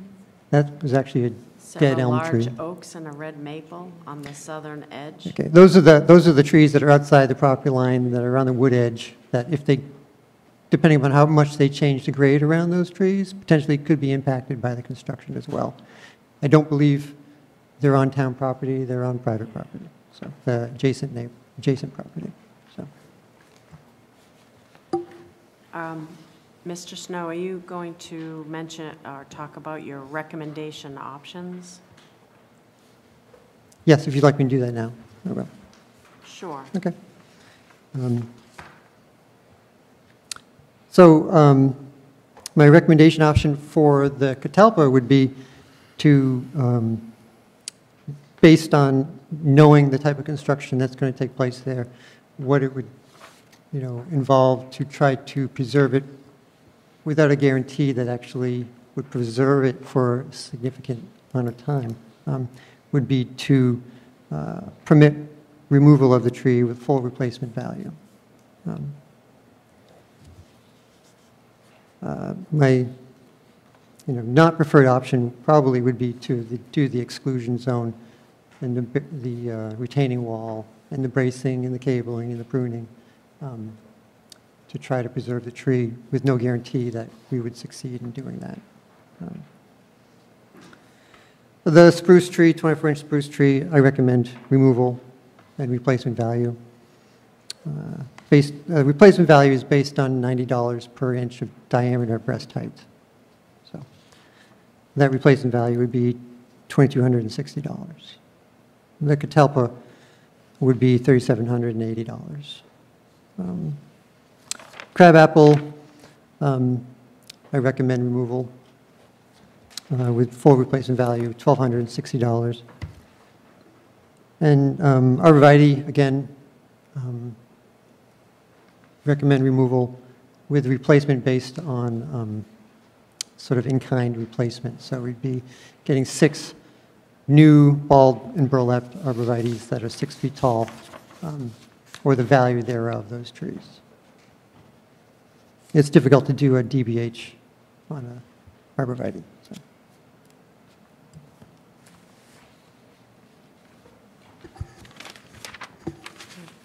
Chris, do you have anything to add? Um, The only thing I have to add is that um, in order for the trees to be removed, both the tree warden and the planning board need to um, make a recommendation that the trees be removed or need to agree that the trees are going to be removed. If one or the other um, does not decide to uh, agree with that, um, then the trees cannot be removed. Um, But we have received, uh, so, so if the planning board and the tree warden do agree that the trees can be removed, we've received two letters of opposition from uh, residents. So now um, even though the planning board and tree warden would agree that the trees can be removed, the decision would go to the town manager. Um, We, we've checked this with our town counsel, um, Joel Bard, and town attorney, Joel Bard, and he has stated that um, the decision would go to the town manager. So that would be the procedure, that you and the tree warden would make your decision, and then if you agree that the trees would be removed, then the town manager would also need to weigh in on the decision. So we go through our process, and then we will take a vote. Am I to understand that the statement that Mr. Snow just made and his document that we've been provided, is that the, so he's made his recommendation? Correct. Okay. All right, so that would be to remove all of the trees. Um, I, and maybe either of you can answer this. So when I add it up, it's $7,200, which is a significant amount of money. And I was wondering what happens to that money, and if any of that money could be um, funneled back into any of the trees that would be the replanting of trees. You know, there's standard trees we use, I know, Mr. Snow, but, you know, would it be possible to get a special tree or something to sort of start anew? Um, So the money, uh, this goes into the tree uh, gift fund. All this, all the replacement value, assessed value on trees goes into the tree planting fund. So um, that money is specifically to purchase new trees to be planted around town. Um, And do either of you have any thought that it just goes into that catch-all, or could it be applied back to where the trees were taken? So the um, the applicant has a planting plan um, already involved in that, so the funds would go to, I mean, not that we couldn't plant trees there, but there is a planting plan um, for this project to, uh, to put back into the public way uh, when these trees are removed. So the money would be used separately. Because the landscaping plan that will be provided by the developer, he's paying for those trees. Correct. Do you impact choosing them, or is that just what the developer comes up with? I'm Uh, saying this because it's public way, we should make that clear, that the area we're talking about is actually town land. Correct. So the tree warden is required to, to uh, um, approve all tree planting in the public way. Okay. So, opening it up to the board, um, questions about the trees? Jack? Uh, I was just wondering how old the tree is, and, and is there uh, some history with regard to the care of it over the years with the cabling? Who did the cabling? Um, Things like that. Um, I do not know the history of the tree. Um, It does, it is an old tree, there's no doubt about that. Catalpas do grow relatively fast, and they, they tend not to live really long lives, but um, they're, they tend to be a fast-growing, weak-wooded tree in general. Um, But obviously, they do, they can live for quite a long time. Um, As far as the cabling goes, I'm, I'm not sure if those cables were installed by the town. Um, I, I believe the property owner may have actually paid for the installation of those trees in the past, but, um, uh, the cabling of those trees in the past, but he can clarify that um, at some point. So this tree is like a super senior tree. I guess in tree age, yeah, it- it's, it's getting up there. Janet? So just to clarify, um, all these trees you're describing are healthy, and the catalpa is old and kind of full of holes, but is still blooming. And so are you res- recommending removal because you don't think they're going to survive the construction project? Or, I didn't really understand, like, they're all healthy, recommending approval, like, what's the next, what's the missing step in that? That's a very good question. The, so it is, because the, the project that has been proposed is to change the grade significantly by feet around uh, most of these trees, by several feet. Um, And, you know, most trees can't tolerate the, the grade change of even an inch of soil or two inches of soil, definitely. Um, But by changing the grade of soil, you suffocate the roots, essentially. Um, They can't get oxygen, and they, they die, and the tree dies shortly thereafter. Um, So, yes, I, I do not see how, um, if the grade changes are going to happen on this project, that these trees can survive. Um,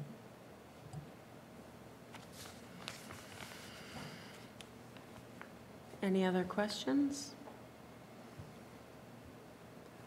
Jack? Um, I was interested, the, if you read uh, the risk assessment report by McCarthy, and, and do you have an opinion uh, on that? I know, I- I know you you spoke to uh, risk assessment in your own uh, voice there, but is this, is that a good report, you think? Overall, I think it is, a good- it it is a good report. It does point out all of the, you know, all of the, you know, um, obvious issues with, with the trees that are in question. Most of them are, you know, normal sort of tree conditions that, you know, can be mitigated. The catalpa is the one tree there that happens to be, you know, the biggest tree and also happens to have uh, the most significant, uh, the issues with it. Um, One of the things I didn't go into um, that the um, report didn't cover was I did, I did do a resistograph of the tree, which is a tool that can be used to measure decay in wood. Um, And the, um, the tree essentially has between, um,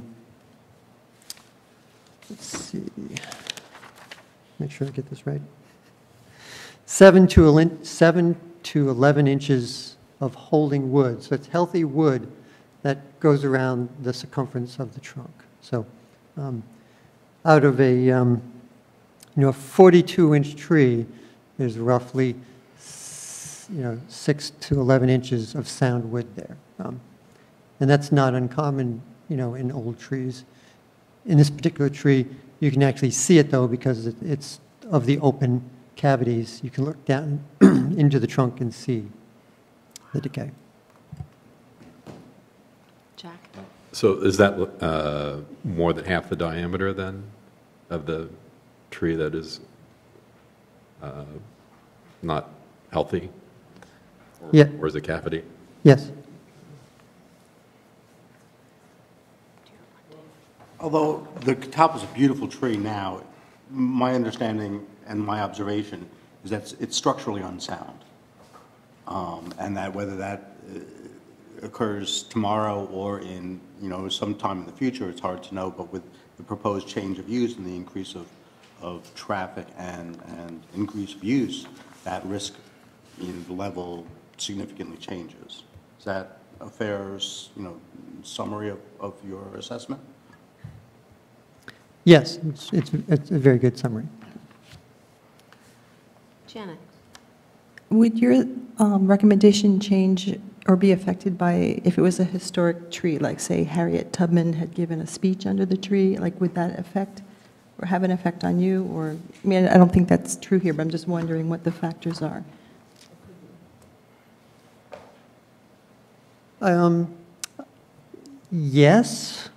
Um, I mean, I think I've, I've tried to be very fair in my assessment of the risk and the, in the ways that we can mitigate risk. Um, So if it, if the tree has a higher, let's just say, social value to it, you know, historic value, um, that generally means that we're willing to spend more money on preserving it. We can, we can put as much money as you want into something to preserve it and keep it going. But the, the, the ability to do that within reason um, is what we're trying to, I'm trying to balance. So on that line, if you were trying to preserve it, you have, if we have three feet of fill coming in, you have to build a retaining wall to hold back that three feet of soil. And you're saying the drip line, so that's like the outer edges of where the branches are, which is huge. And then you'd also have to put bracing under the vertical leaders. And then now your retaining wall is over 30 inches high and it's in a public park, so you might have to have fences.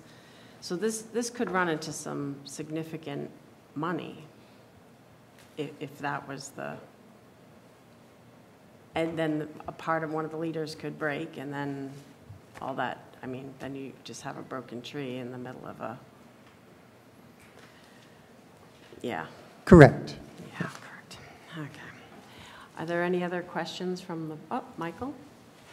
From the picture we're looking at now, uh, the tree appears to be kind of out of balance because of the long leader, which is the leader which goes into where the building is proposed to be cor- constructed. Is that right? Um, The, the photo does appear to show that, but you're not, if you saw a photo of it in leaf, uh, as it is now, or it was earlier this summer, um, it actually has a very uniform crown. Um, Well, I'm not so much thinking about the crown as I am about the supporting architecture of the tree. It- I wonder whether i- it pruning, eliminating that long leader and allowing the rest of the tree to exist as it is would help the life of the tree that remains, or whether that would be a a useless kind of operation. It seems to me that the- the shape of the tree, the shape of the tree without that uh, leader is perfectly adequate as a tree. Um, And I understand that the crown fills out completely. Uh, But I'm wondering if that would be a way to help preserve the tree, uh, to remove it from um, impinging on the development uh, and uh, extending the life, ex- extending its life. That's another great question. The, um, so, I mean, old trees uh, have a hard time balancing their, their living tissue and, and all their supporting, you know, wood and everything. So it's, it's a, it's a very delicate balance in old trees. Um, As it gets, as is with some humans, as we age, that, um, you know, they actually really need all of that. And so if you start reducing the crown or removing large portions of healthy leaders, you're going to really disrupt the, the available nutrients to keep that tree in the delicate balance that it's in right now. It's, right now, it's, it's growing, it's putting on new healthy tissue, um, and it, it's decaying. So it's a race between the decay and the new wood as to, you know, who's going to win. And as we all know, um, the decay is going to win eventually. So, um, but we don't know exactly when that's going to happen. Thank you. Um, There's a picture showing the, the property line running down that west property line. So thinking of what Michael was saying, if, if that was cut, there's other parts of the tree that still have to be cut on the west side um, because they extend over the property line. Um, Yeah, so the property, like where you see the broken um, cabling, the line actually goes sort of at an angle, so it's probably mid-center of the photo there and sort of heads off um, to that back fence way in the back. So um, there's other parts up here that would have to be cut too.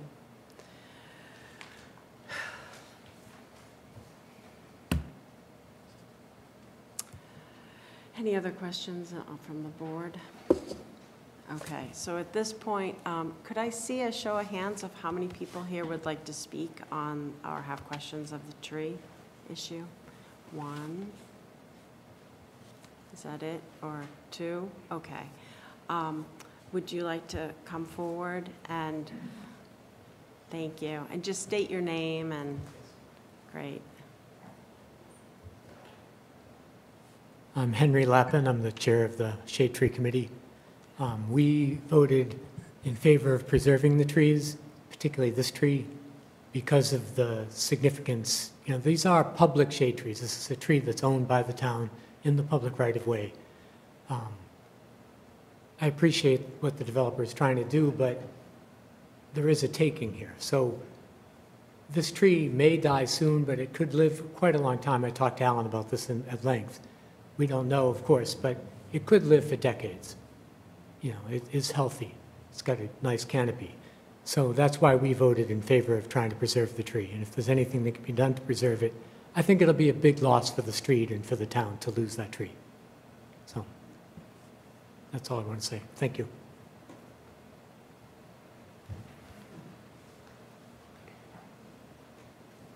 Yes, if you'd like to come up and just introduce yourself.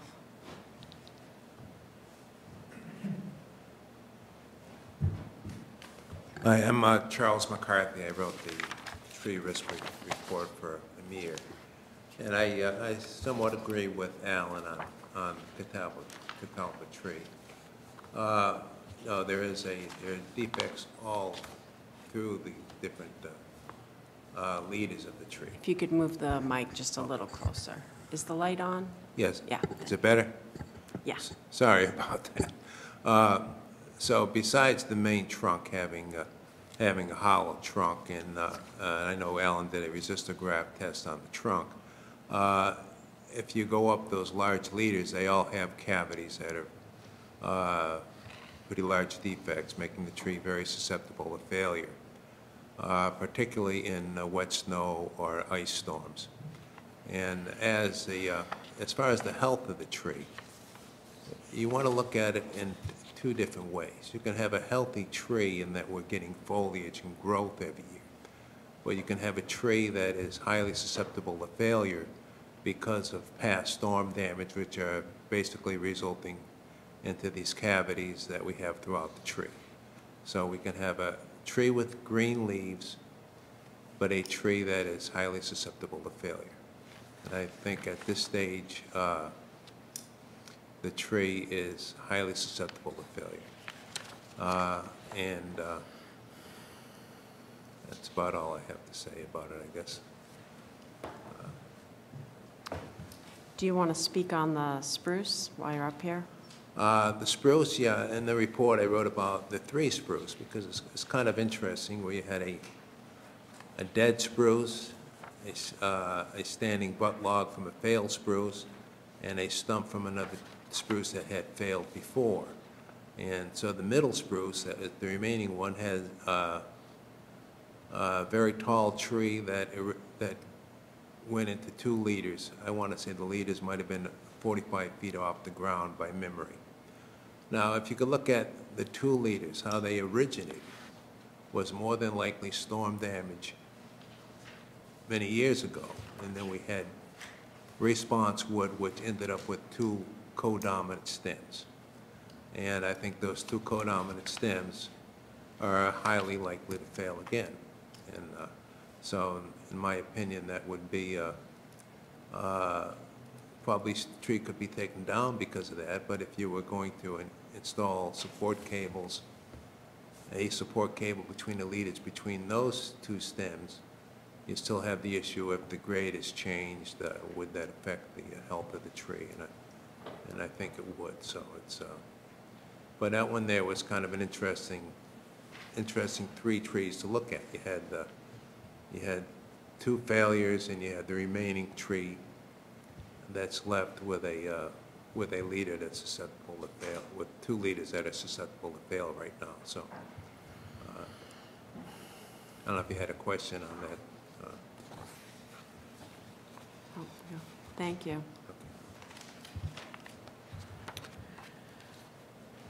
Um, Yes,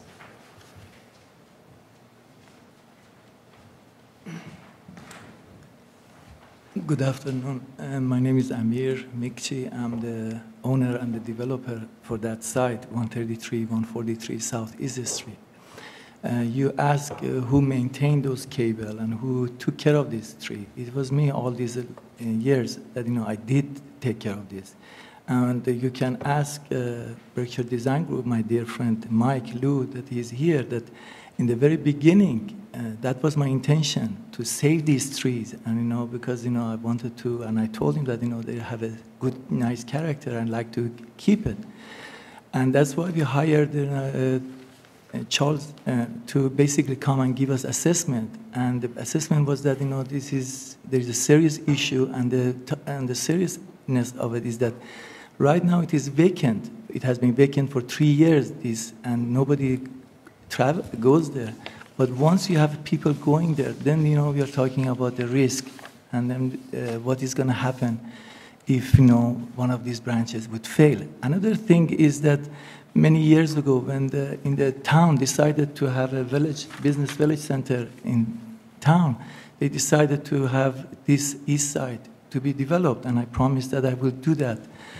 And, uh, but the thing is that no matter what kind of development we are going to have, as Alan uh, rightfully said, even if you would have two inch or, uh, of the filling there, it's going to bond to kill this tree, no matter what, regardless of what the project is, regardless of what the development is.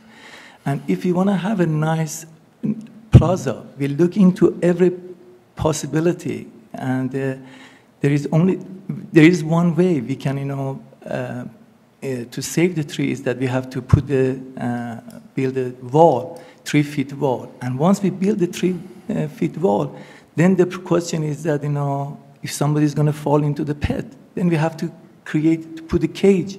So we are really going to ruin the just the atmosphere. What I mean, it's not going to be inviting place to have a tree with a cage, and then around it, you know, with the three feet, you know, if you really look, it's already low, you know, and you know, and then having three feet of uh, wall and then the cage around it, just you know, trying to look to it. It's really not something that you know. Uh, I, I do admire. I do my best to uh, take care of the trees. In fact, you know, I'm uh, create. I got another consultant to create, you know, uh, uh, rain garden. You know, in Hadley as my other properties are, and even in Amherst, right, you know, by the auto expresses that you know, uh, Mr. Root is, you know, coming up with the way to do it. But it is really something that you know it has to be appealing, something that to be nice, and also making sure that it will be safety, that the safety of the public is preserved. That is basically why I ask that you know you, you will allow the removal of this tree. Thank you so much. Any other um, questions from the board? So, oh, yeah, Michael?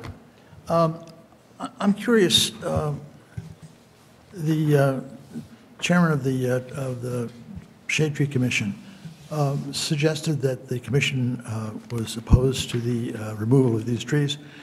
Uh, Can you tell me whether that was a unanimous vote on the part of the commission, or whether there was some dis- dissension among the members of the commission about this issue?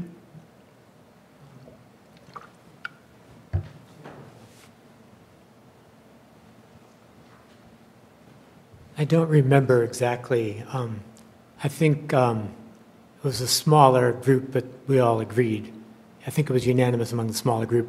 One person had to recuse themselves because they worked for Berkshire Design, and um, I think one person wasn't there, so there were only four of us at that time.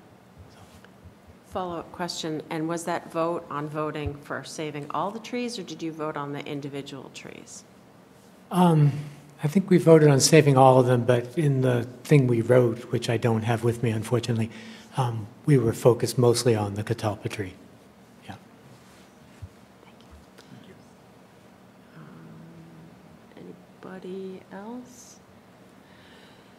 So, at this point, do we have to make a motion and make a decision? Um, Unless anyone has any more information they need or thoughts? Um, Do I hear a motion? Anyone want to make a motion? I know it's Can a I- hard could I- thing. I'd like to ask a procedural question. If we make a motion, then do we discuss it? We make a motion, someone seconds it, And then and then we have more discussion, Okay. and then we vote on it. So I move to, ex- to, I move that the planning board accept the recommendations of the tree warden and for the removal and the compensation for all of the trees, regrettably, including the catalpa. And to close the public hearing? And close the public And hearing. close the, what, and, Close the public hearing. oh, thank you. Second, okay. So um, are there any other questions or discussion before we vote? Uh, Maria did. Michael? Yeah, I'm, um,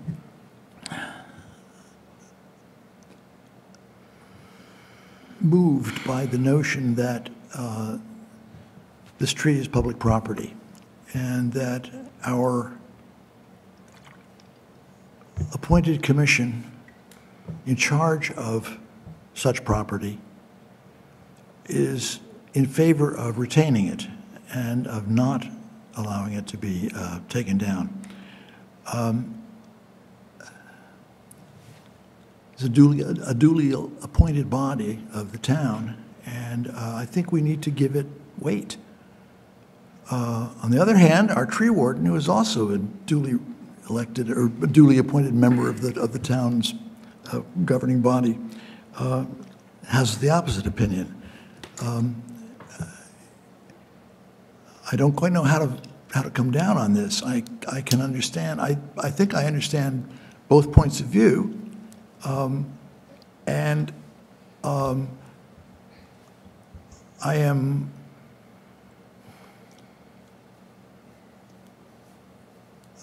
fairly certain that this uh, issue is driven by the proposal to construct a property behind the land on which this tree is located. If such a proposal were not uh, in the offing, uh, there would be probably no issue. Um, So that, could, that uh, makes uh, an even greater conflict here. It seems to me that uh, we're being asked to provide uh, development opportunities at the expense of um, an, an environmental asset of the town.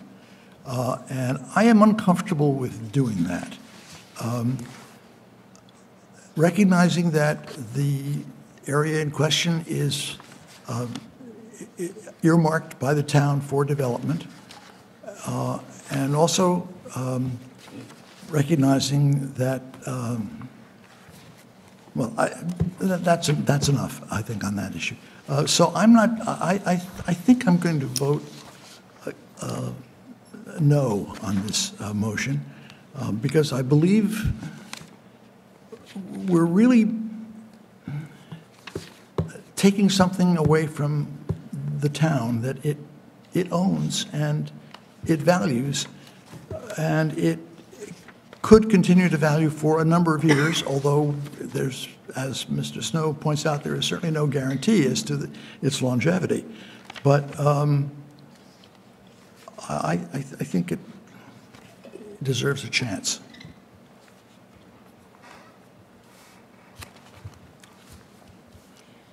Maria?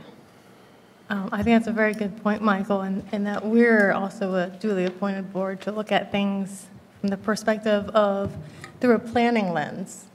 And um, we have to look at the context, and we have to look at the bigger good.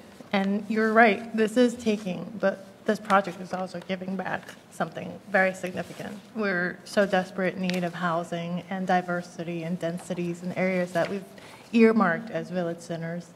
And I think that the amenity of this project, in this case, if we look at it from the master planning perspective, is something that's going to be very valuable for the town.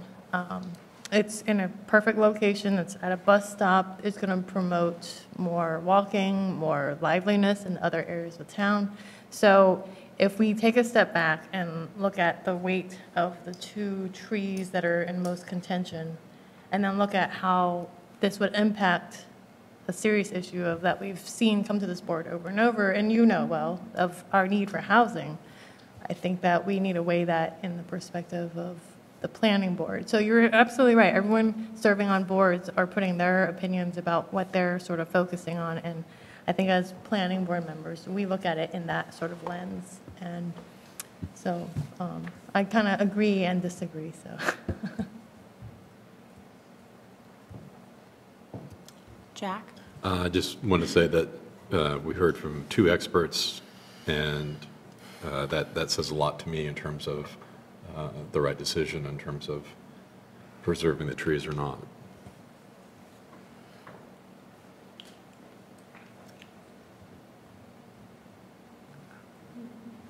Mr. Snow?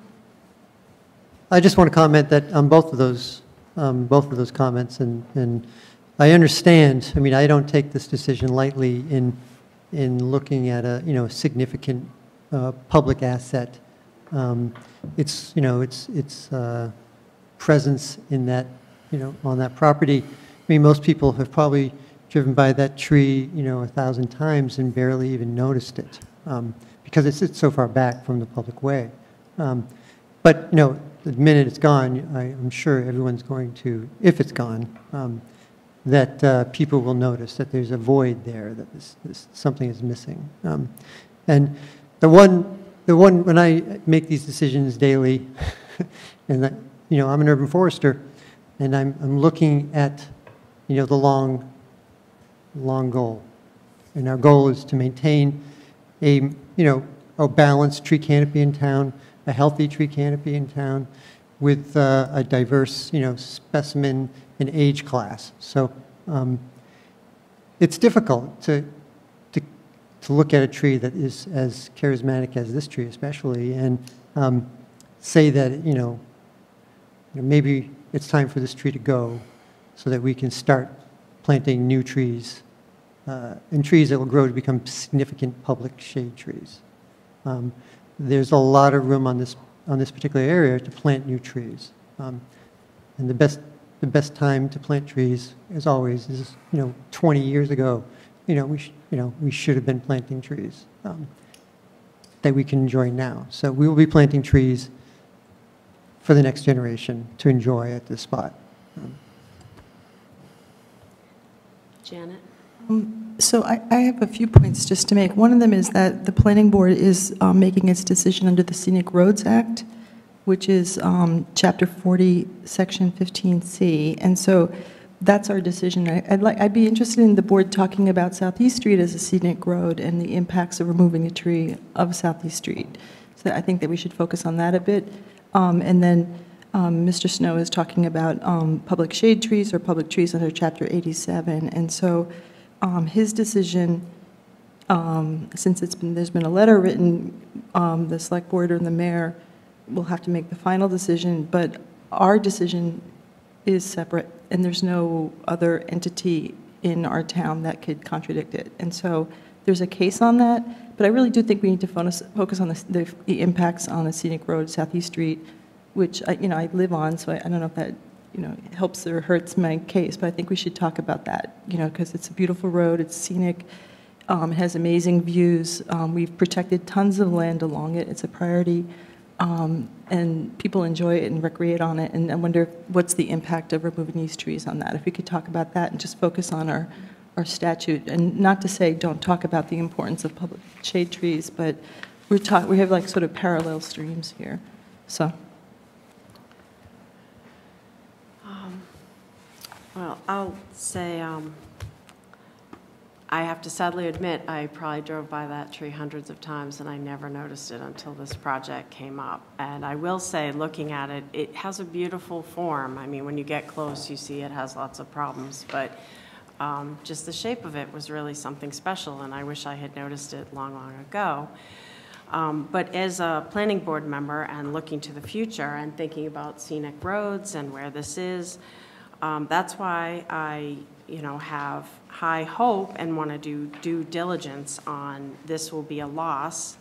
Um, But this public way looks to be greatly improved from what it has been probably ever in its existence.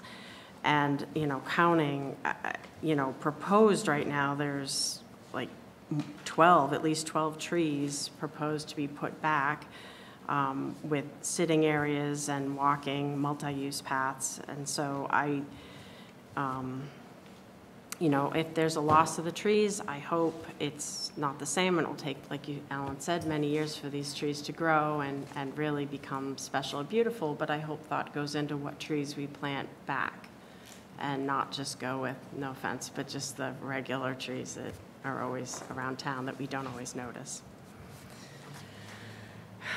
Um, Maria? Um, just looking at the town map and the zoning and the, the parcel we're talking about is, um, VC, and then to its west is all education, and then to the east, they're currently, um, Colonial Village, Colonial Village Apartments. So the scenic roads we've sort of given advice on have been sort of more rural in setting and more, you know, about stone walls and trees. And those we definitely carefully preserve and, and and look at the context, context. And, um, you know, if someone needs a curb cut and removes one tree, we do agonize over it, and this is not quite that setting. Um, Southeast Street is beautiful when you go further north and south, but as you get closer to this intersection, I'm not sure it- the scenic part still holds. So, um, absolutely, we, we, we are always, you know, careful about taking context into account, and I think this is a case where the context is a, um, a commercial and more urban setting, so even more so, you know, um, thinking about scenic roads, we, and, and we have to think, does that really apply in this situation? Um, I know a lot of people think it still does, and if you look as, um, how the zoning and how we've been talking about this area as far as village center, I just wonder if that is still holding in this particular context. Michael? One of the things that makes the uh, very center of town, right outside the doors of this building, wonderful is the enormous trees that are in the common, on the north end of the common. Um, So I think it's uh, not quite right to say that uh, because the Southeast Street, or the, the uh, East Village area that we're talking about is um, developing into a more commercial area, that uh, large-scale specimen trees are inappropriate. I think they're just as appropriate there as they are in the center, of- on the common, outside our doors. Jack? Uh, I was just going to say that um, I, too, I don't think appreciated uh, the tree until it was presented to us uh, because of the development. Uh, The arborvitae, I think, shade it from view uh, when you're on College Street, but I'm encouraged by the uh, the landscape plan and the additional planting of trees where I think uh, there'll be more um, connection, you know, with pedestrians, with the trees that will be planted there uh, than is currently uh, appreciated uh, for that stretch of property. Janet? So, I, I appreciate those views because it- there is a lot to be said for that new kind of plat, front area. Um, I was sort of wrestling with, you know, it's like these trees are, have to go, or if this, if this project is approved, because it had, it, you know, it's, it could, you could have designed it to save those trees and not increase the height there and stuff like that. And so I sort of wrestle with this, that the trees will die if we approve this project because of the way it's designed, and it could be designed in a different way to preserve the trees, like more of a, like creating a common and things like that. So I sort of, you know, see Michael's point that we have lots of beautiful old trees on our common. We have commons all over New England, and apparently quite a few in Amherst. And so, you know, if this project was designed in a different way, it could be designed to preserve the trees and create like a place for people to sit. And so I kind of, I have to say, I'm sort of seesawing back and forth. Um, It seems to me a condition for the removal of the trees would be approval of a, of a project that requires the increase in, um, the grading increase and things like that, not just to say, yeah, you can take them out, and the project changes or it doesn't go through, so. David? I, I, excuse me, I think, I, I feel confident saying that any vote here is a, is a vote for consideration of the, the proposal and the, and the, the, gr- the vision for the, the property and the vision for the planning, and the planning for the town. No one here is anti-tree, right? Um, It, it- it seems to me that the purpose of the scenic bylaw, scenic road law is to, if a, if a road is designated as scenic by a town, which these roads were done so sometime in the early 70s, if memory serves, what the law calls for is an additional level of review that's offered right here, right now, what we're doing. And, and that's what, that's what we're meeting. It seems to me that for the, the planning board in weighing, in balancing and weighing the various interests we have here for housing, for commercial development of a village center, for preserving the beauty of the landscape and the viability of its greenery and the long-term cycles of growth and decay, that, that in weighing that, we're performing our functions, and, and that, in my view, given the, you know, the beauty of the tree, but its, mm, its, its state of structural, of the, the lack of integrity of it, having, you know, having admired it for years, but also, and but being frightened of climbing on it or sticking my hand in its many gaps, um, that, that in weighing those various interests, that, that it seems to me the- the proposal, the proposed project wants to further encourage the greening of the space as it evolves into the future. And so I would vote to, again, I, I would vote to support, the, uh, be consistent with the uh, tree warden's recommendations. Michael? Uh, I was struck by something uh, Janet said a minute ago, uh, and um, it reminds me that this tree removal issue is entirely driven by the development existing behind it.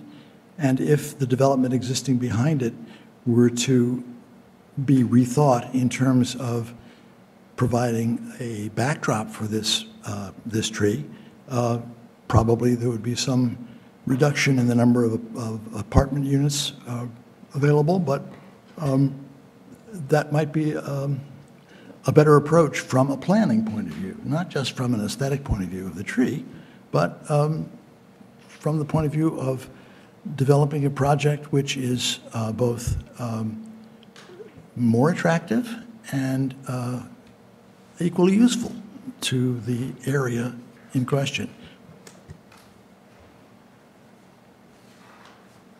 Maria? I think that's absolutely right, except that we've heard from a couple tree experts that they may not be worthwhile in doing that. But there are definitely projects where we have had them work and redesign around existing trees. And I just think that this is not one of those cases. Janet?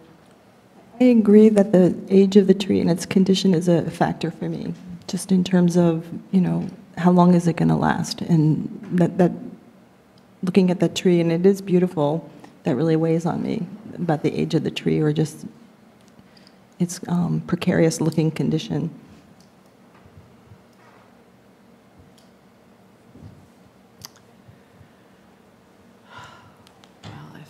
Anyone else have any more comments, or are we um, up for a motion? We had a motion. Well, ready, I'm sorry, vote on, the. are we ready to vote on this motion? You good? Okay. Sure, that's what I'm asking. If we voted to, for the removal of the trees, it wouldn't happen unless the project was approved, right? Or would we, would that be a condition on our motion? Actually, we make our recommendation, Mr. Snow has made his, and then it will be Mr. Bockelman who makes the final decision. Okay, because that, that, okay, that, I don't know if we But should. then it would become, conditional on the project being, going forward? uh, that's, Could we make the motion with that condition? I have to say, just, I've, I've been sort of holding this back. There's a, there's a court case that says that the planning board is making a decision under the Scenic Roads Act, and then either the select board or the mayor makes the decision under the, you know, Public Tree, Public Shade Tree Act, and you need approval from both. You know, they're not, there's not one group that trumps the other. And so that case was Shepardized today, It has, it's a, it's a Superior Court case, so it's not like an appeals court case, but it does support the language of the statutes, because these, they, each of the statutes refer to each other, and they know that they operate independently and together. So I don't, this is like a legal question, I think, for, you know, our town attorney, but I don't see, I think we just make our decision, and we have to approve it, and then um, the town manager kind of acting as, because of the mayor, or, you know, or a select board in the executive function makes a decision under the different act. And so we could take that to um, boards, our counsel, but I don't, I did some research on that just because I was re- reading a, a long treatise on land use law, and I think, well, maybe it covers this, and it did have a case on point, and so, you know, but I don't, I don't, I think, you know, if we, if the planning board approves it, and then the, um, um, Mr. Snow approves the removal, then I think we're good, or the town manager acts. Chris? I think Ms. McGowan's right that both the planning board and the tree warden need to approve this in order for the tree to come down. But even so, even if the planning board and the tree warden do agree, it still needs to go to the town manager because um, there has been a letter, to- there have been two letters of opposition issued uh, or submitted against the taking down of the tree, and that relates to the um, statute that Mr. Snow operates under. Great, thank you. So are we ready to take a vote? Okay, um, so uh, with the motion that's on the table, all that are in favor, raise your hand, say aye. One, two, three, four, five. Um, No? And, okay, so I think, we've got a five-one? Okay, how about we take a um, break, a little break?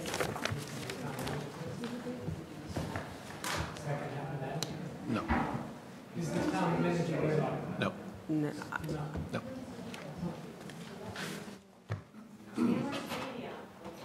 Amherst Media, are we still running, or do you want to restart? Great. Okay, uh, great.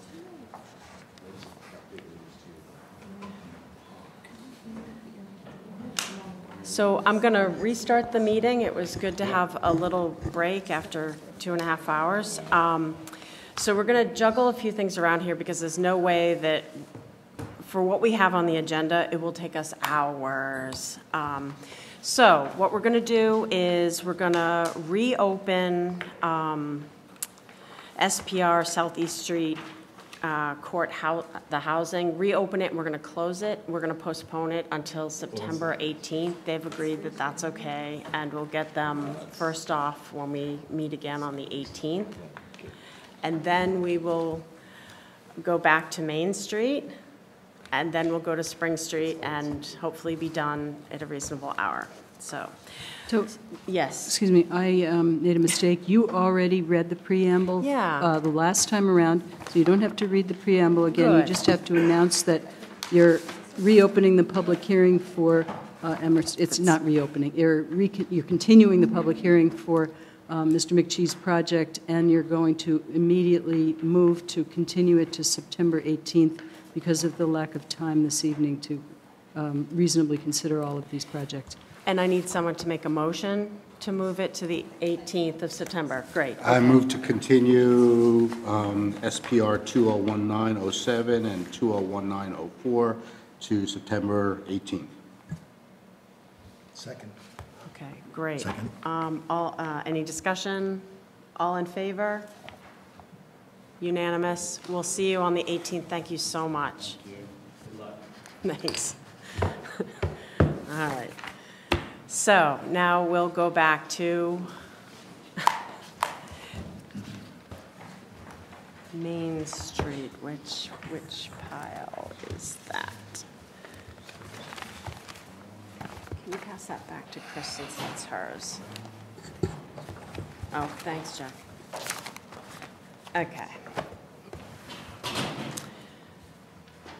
So Chris, do we need to reopen it? Did we, cl- or we just You didn't suspended it close till later? You just suspended it till later, so So it's this still is the open. later.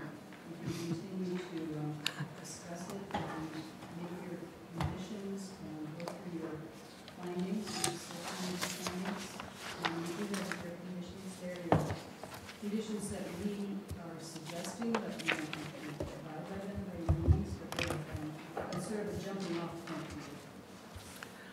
So, I, I, uh, I think they do. So I was going to go through the criteria. Um,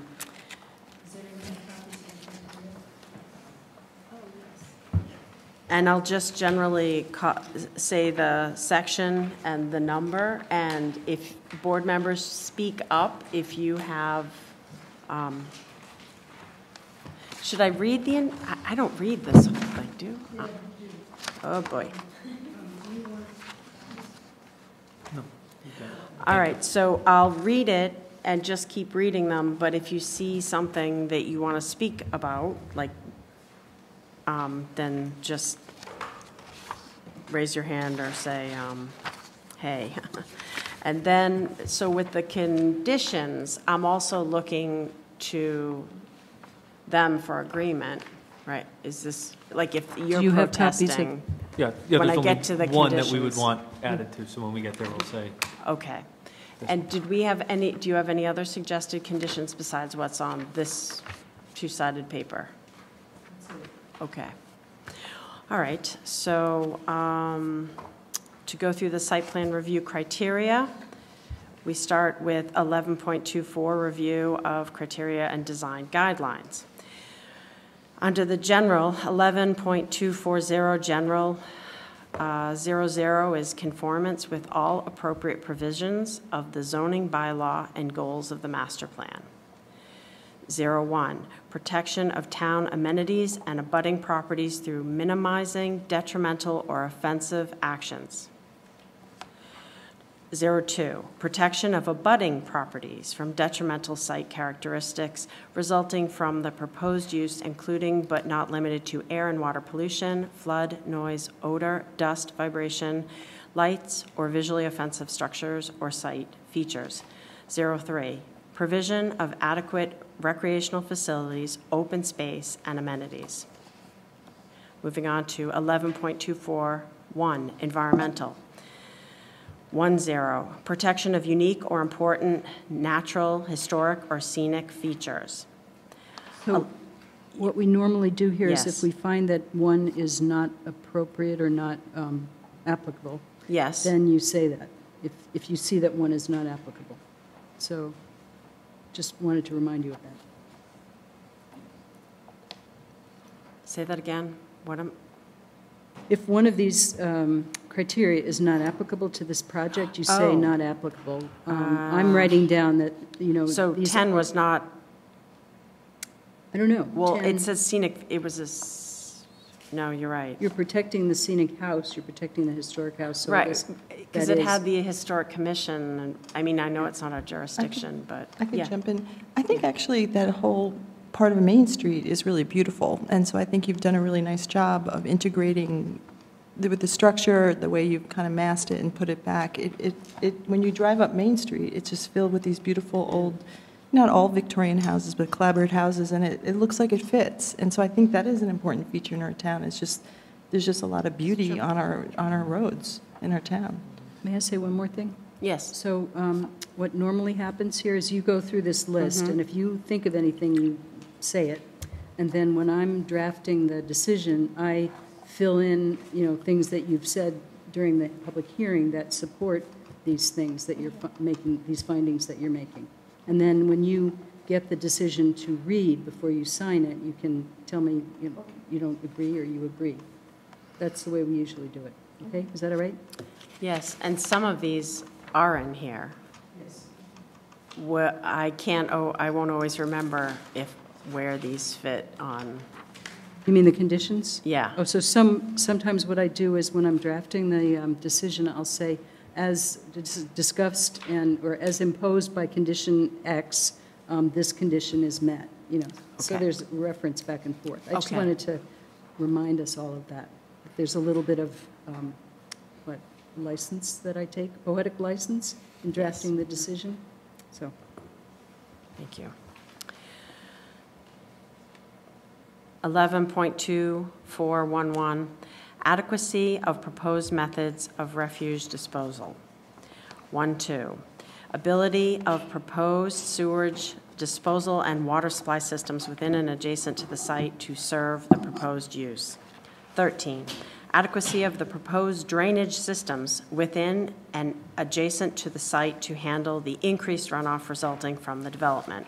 14, Presi- provision of adequate landscaping, including the screening of adjacent residential uses, provision of street trees, landscape islands in the parking lot, and a landscape buffer along the street frontage. When a non-residential use adjoins a residential district, an uninterrupted vegetated buffer shall, to the extent feasible, be established and maintained between buildings associated with uses under this section and the nearest residential property boundary. When natural and undisturbed vegetation already exists on-site prior to site preparation and clearance, the majority of that vegetation may be retained and included as part of the buffer, along with the addition of such new plantings, selective removals, and other management of site plantings as are determined to be necessary to maintaining an effective year-round visual screen. 15, adequacy of the soil erosion plan and any plan for protection of the steep slopes both during and after construction.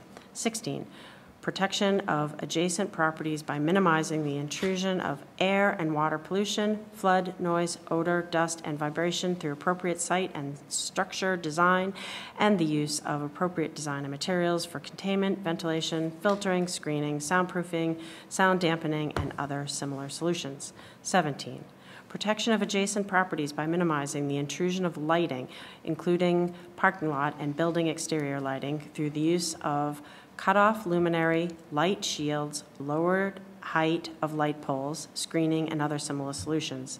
Except for architectural and interior lit signs, all exterior site lighting shall be downcast and shall be directed or shielded to eliminate light trespassing onto any street or abutting property to eliminate direct or reflected glare perce- uh, perceivable to, uh, perceptible to persons on any street or abutting property and sufficient to review, to reduce a viewer's ability to see. All site lighting, including architectural sign and parking lot lighting, shall be kept uh, extinguished outside of those business hours established under the approved site management plan, except for light determined to be necessary for site security and the safety of employees and visitors. 18, protection of flood hazard as stated in section 3.22, considering such factors. This one Yes. is not applicable. What? It's not Oh, applicable good. because it's 18 is a- not, you're right, it's not in applicable. flood. Great, It's sorry, in I was going hazard into the trance of just like, how fast can I read? Um, ni- Protection of wetlands, so 19 can be skipped? Great. And uh, historic, regi- it's not in a historic, reg- uh, is it in a? It is in the beginning. Okay. You may use the um, criteria of the Design Review Board, but you did not choose to do so tonight, so you can say that you're not, that it's fine, or that you're not. That's it's not fine. applicable. Okay. Um, So 21, the development shall be reasonably consistent with respect to setbacks, placement of parking, landscaping, and entrances, and exits with surrounding buildings and development. 22, building sites shall avoid to the extent feasible the impact on steep slopes, floodplains, scenic views, grade changes, and wetlands. 23, if there is more than one building on the site, the building shall uh, relate harm- harmoniously to each other in architectural style, site location, and building exits and entrances. 24. Screening shall be provided for storage units, loading docks, dumpsters, rooftop equipment, utility building, and similar features. Traffic and parking. Number 30, the site shall be designed to provide for the convenience and safety of vehicular and pedestrian movement both within the site and in uh, relation to adjoining ways and properties. 31, the location and number of curb cuts shall be to minimize, oh, okay, shall be such to minimize turning move, uh, move, uh, movements and hazardous exits and entrances. 32, the location and design of parking spaces, bicycle racks, drive aisles, loading areas, and sidewalks shall be provided in a safe and convenient manner. 33, provision for access to adjoining properties shall be provided as appropriate.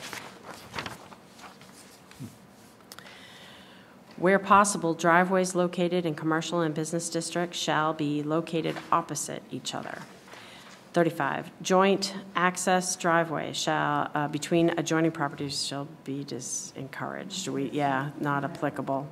Uh, 36, a traffic impact report shall be required unless waivered under 11, section 11.222. Information required as part of this report shall be set forth in the rules and regulations of the planning board. 37, when a traffic import, uh, do we still have, did we, um, yeah. They The- provided an- a traffic impact statement, but it's not the same as a traffic impact I report. agree. So I think you're going to waive the traffic impact report and accept the That's statement. great. All right. Um, So now we'll go through the uh, possible conditions.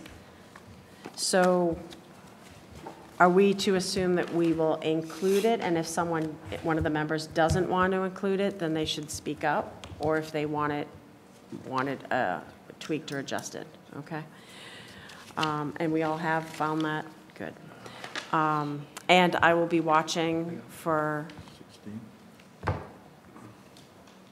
Mr. Reidy, just call Yeah, out sure. if you want to, um, same thing to you, if you want to comment or And maybe adjust. just two more findings, or like, one is the, so the waiver for the traffic impact, like you mentioned. Yes. The waiver for parking under 7.9. Yes. And then also, um, small car parking, so 7.104. um, Planning board may allow upon application, small park, small car parking spaces to be substituted for up to 50% of the standard parking spaces. Uh, We've got 14 compact spaces proposed. 14 of the 32. Of the 32, yes, thank you. So that's less than 50. Less than 15, right. For up to 50% Okay. of the standard. So we usu- we usually include that in a separate list. We don't usually include that as one of the conditions. Yeah, We- Right, But just Okay. as a Separate list. finding prior to, as I was thinking, you went, you just went through your planning board findings. I was thinking of the other two findings, the waiver, and then this as a finding, and then to the conditions. I'm not trying to muddy the waters at all. Findings under those That's a sections finding, of the bylaw. right. Yes. But the two waivers are the traffic and the parking. Yes. Okay. Question. Yes. Do, do we, does the planning board impose as a condition? I know there's two handicap spaces. Could we impose that as a conti- condi- condition, or is that normally done? Um, You approve the plan as it's presented to you, and that plan would include the handicap spaces. Okay, so under general, number one, development sham- shall be built substantially in accordance with the plans submitted to the planning board and approved on whenever, If you approve it tonight, it would be tonight's Okay. date. If you, yes, So I have a question. On, Yes. uh, It's about the relationship between the site visit and the plans as submitted to the planning board. At the site visit, Mr. Wroblewski um, indicated his intention, that might not be exactly the right word, or desire somewhere, to both have solar panels and to have two, at least two of the spots have electrical, uh, be an electrical charging station in the, the parking spot. Is that something that is, a- do- is that considered now a part of the plan submitted to the planning board? Or is that a different condition that we can ask to, ask to, to, uh, to make a part of the, the approval? Chris?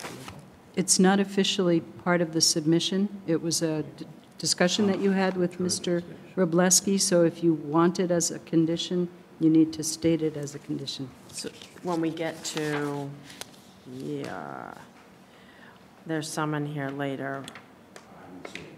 Yeah. No, not about that, but we can add it in. And- And maybe just to put a finer point on that, I think Mr. Wroblewski can commit to the electric vehicle charging station. I think Yeah. the solar panel, uh, if you want to couch it as he will attempt to do it, but I don't think he can make the representation that it will have, it will happen. But one charging station? is- Well, or it's two? one station, but Yeah, two ports. two spots. Precisely. So you've got that, Chris? That would be the That's a condition. that- condition, and then it would be nice, Right. solar. Thank you. Condition that he will attempt to install solar panels if it's um, appropriate or... Appropriate or whatever. feasible. or- Feasible, yeah. Yeah. I think that's fine.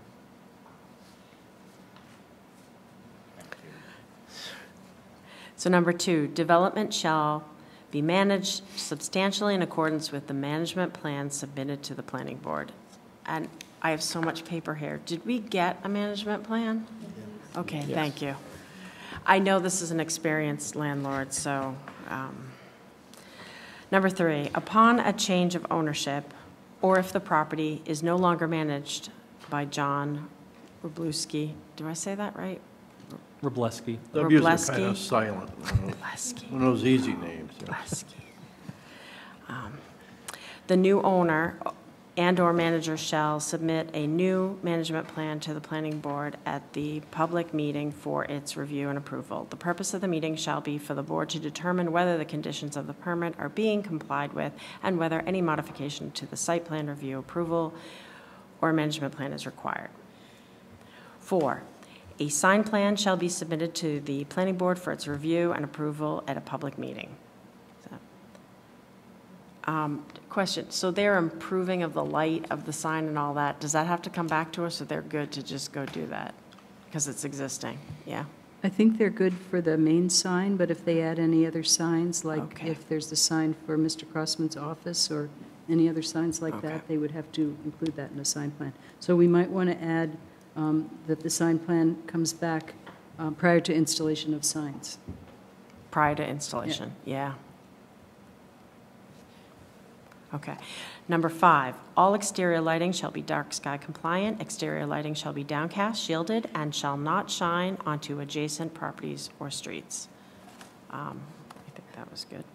Six, this property shall be registered and permitted in accordance with the Amherst uh, residential rental property bylaw. Loss or suspension of a rental permit shall um, constitute in a violation of this condition. Number seven, changes to the project and/or substantial changes to any uh, approved site plans or to the exterior of the building shall be submitted to the pla- uh, planning board for its review and approval prior to the work taking place. The purpose of the substantial, the purpose of this submittal shall be for the planning board to approve the uh, change and/or to determine whether the changes are de minimis um, or significant enough to require modification of the special permit or the site plan review approval. Could I add, so I lied, maybe I have two things. Could we add that maybe field changes may be approved by the building commissioner? Field, can Field field, changes, you know, can be like in approved, construction. something like Yeah. that, yeah. So we don't have to stop construction, come back before the board, make the determination that it's de minimis or not, and then go forward. So to give the building uh, commissioner some discretion, just because your docket is very full. And then it's in his court, so he makes it so that it would be the building commissioner makes a determination whether it's beyond Why don't you use the word insubstantial? Okay. Insubstantial ins- field changes insubstantial. May be approved by the building commissioner. Sure, is that good? Okay. Number nine, landscaping shall be installed in accordance with the landscape plan, and once installed, shall be continually maintained. All disturbed areas shall be loamed and seeded unless otherwise specified. 10, one hard copy and one digital copy of the final revised plan shall be submitted to the planning department.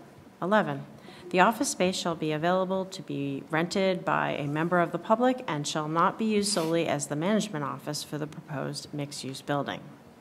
12, shrubs and vegetation that block the sight distance on the east side of the driveway entrance shall be cleared. Construction, number 12. Prior to the issuance of any building permit, a pre-construction meeting shall be scheduled with the applicant, the applicant's contractor, the town engineer, the building commissioner, the superintendent of public works, planning staff, and the fire chief, and any other staff personnel that may have a role in the construction of the project. 13, a written construction fire management plan shall be submitted to the fire chief and the building commissioner prior to the issuance of building permit, of a building permit. 14, a construction logistics plan shall be provided at the pre-construction meeting and shall cover the following items. A, construction timeline and expected completion dates for each phase. B, location of parking for contractors. C, location of on-site and off-site staging, such as for construction vehicles, including cement trucks. D, location of fencing around the construction site. E, details and locations of directional marketing and job signs related to construction. F, emergency contact information such as name and cell phone numbers of developer and contractor. G, information about construction signs, including advertising signs for the contractor, developer, and architect.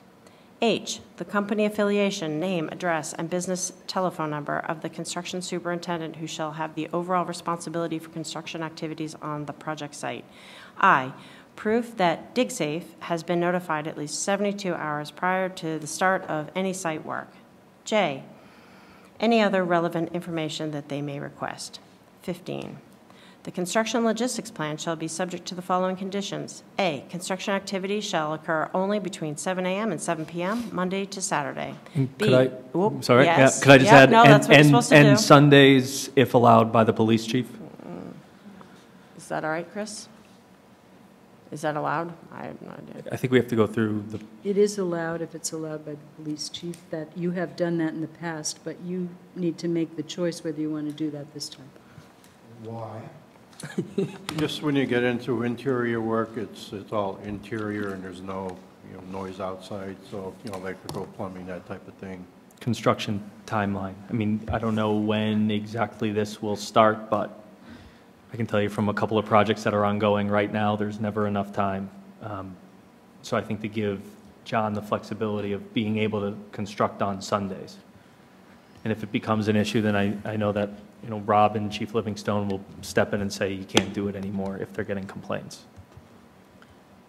I, I think that um, I would like to limit that to interior construction then, because I think it'd be super annoying to have people drilling and doing all that thing on a Sunday. Especially at 'Cause you're 7 next- a.m. Yeah.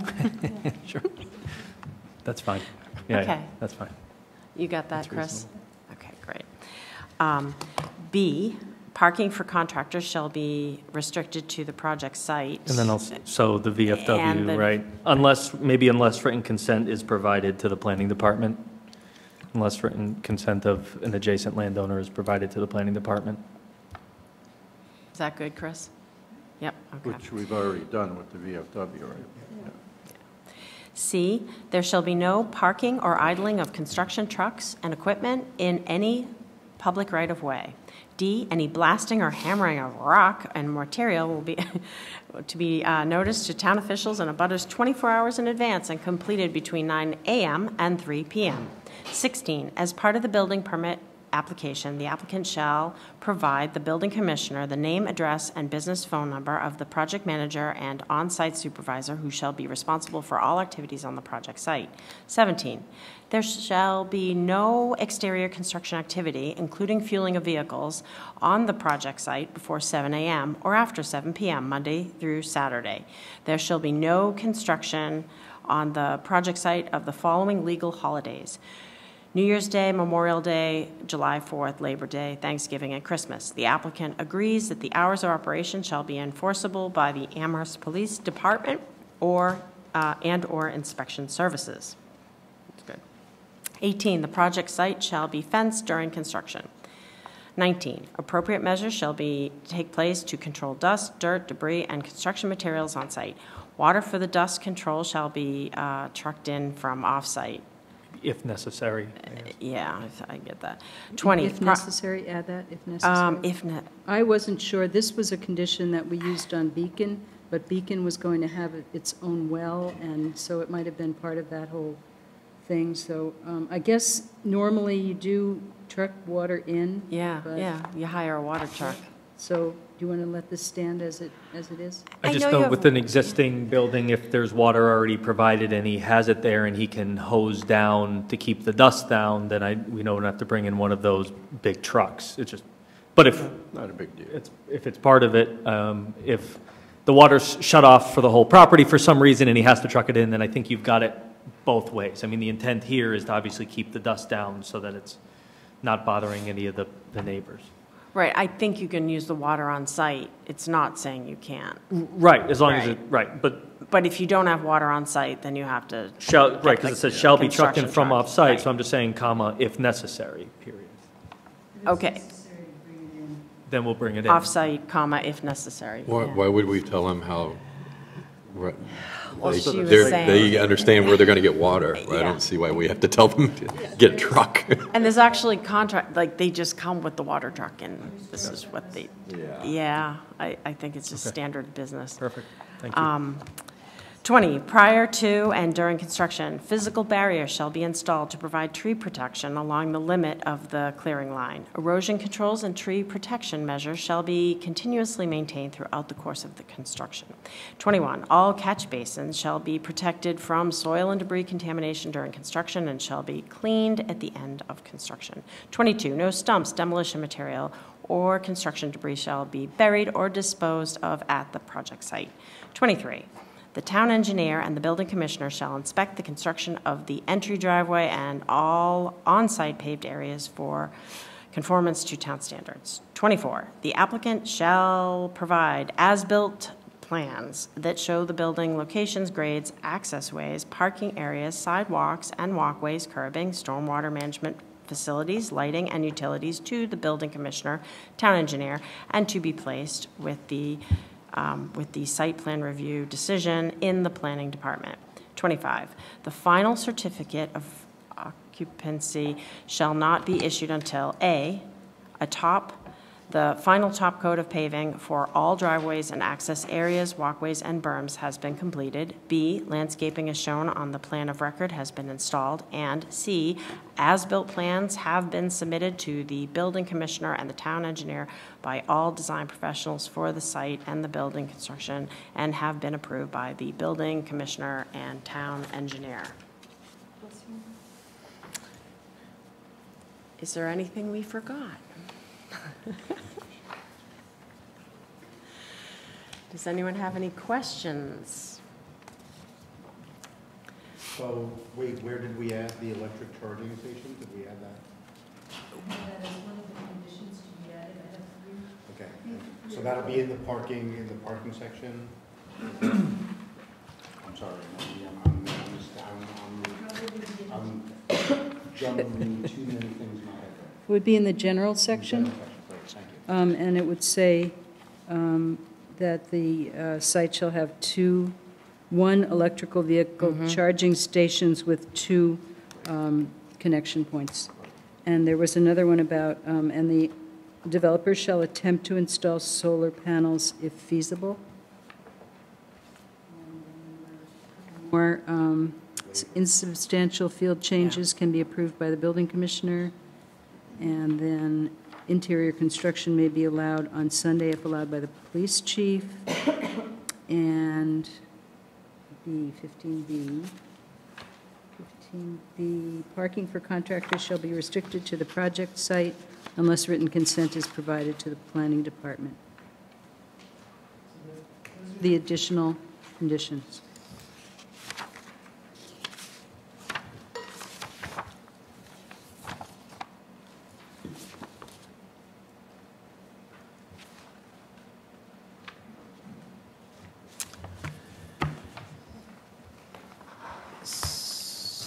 So, are we ready to make a motion on this?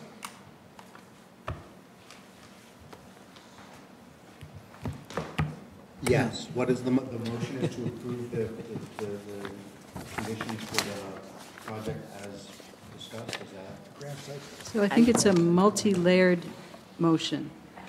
Number one, you have to close the public hearing. Number two, you have to um, approve the project with the conditions and waivers as listed. Number, th- uh, the site plan review approval. And number three, you have to approve the special permit to expunge all previous special permits. And we haven't really talked a lot about that, but if you want to talk about it, now would be a good time.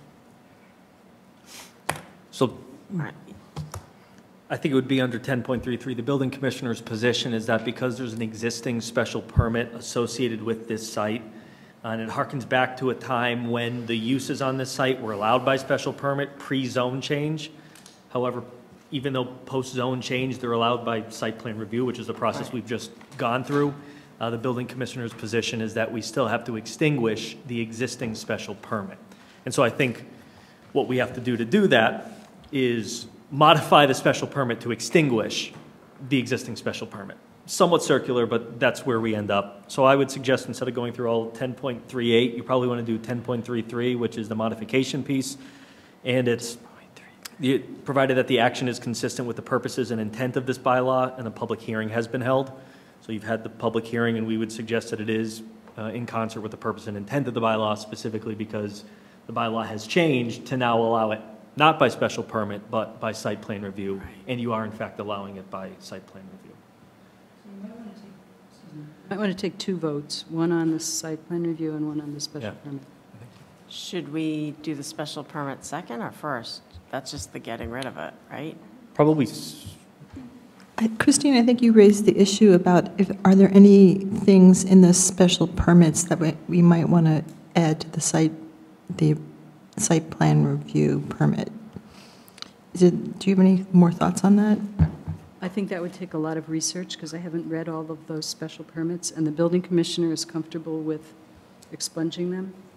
Know, I read them just because I can't stop reading paper, but it, um, they were mostly about like allowing a hair salon and, or a beauty esthetician, and, you know, keeping them as professional offices. I think that was it. I think that was because this used to be in the RG zoning district, so that was a residential zoning district, and they wanted to have uses on the site that were very restricted. And now it's in the BN, which includes a lot of different uses that are allowed um, in business neighborhood, and they're all listed in the use table, so I don't think that we need to get into that. So why don't we do a motion to, to, is it dissolve or remove the special permits? Extinguish, thank you, that's the word, I mo- extinguish. I move we extinguish the existing special permit. Someone second? Any discussion on this? Talk- None? Okay, all in favor, say, and it's unanimous. Thank you. Okay. No, we only just did that. Now I'm going to do that, but I was going to ask one more time. Is there any public comment to this? Do you- We're good, no problem, okay. So um, then we can close the public hearing, but that can get tagged on to the next motion, right? Okay, so David, if you want to do your Move- thing again. Move to close the hearing to approve the conditions as And waivers. discussed. Yep. The findings and the waivers um, presented to the board. And close the public hearing. Okay, good, you did that first. and appro- yeah, if I. And Yes. approve, approve the site plan review. And approve the site plan. Most Yes, the important part. Mhm. Yeah, And that too. to And that approve too. the site plan review. and I hear a second. Any further discussion? Okay, all in favor, say aye. Uh, And that is unanimous, so Thank you we're so good. much, really. Thank you, thank you for being Thank so you. flexible. No, great job. I know, everything like that. It was You're in a thankless disjointed, but position. thank you for waiting. Take care.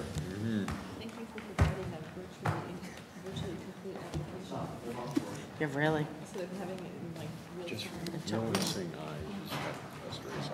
Yeah, I know. Just, just raise hands. All right, I'll do that. I just always think, I can't, I can't see, I can only hear, but yeah, you're right. Yeah, that is a lot to read.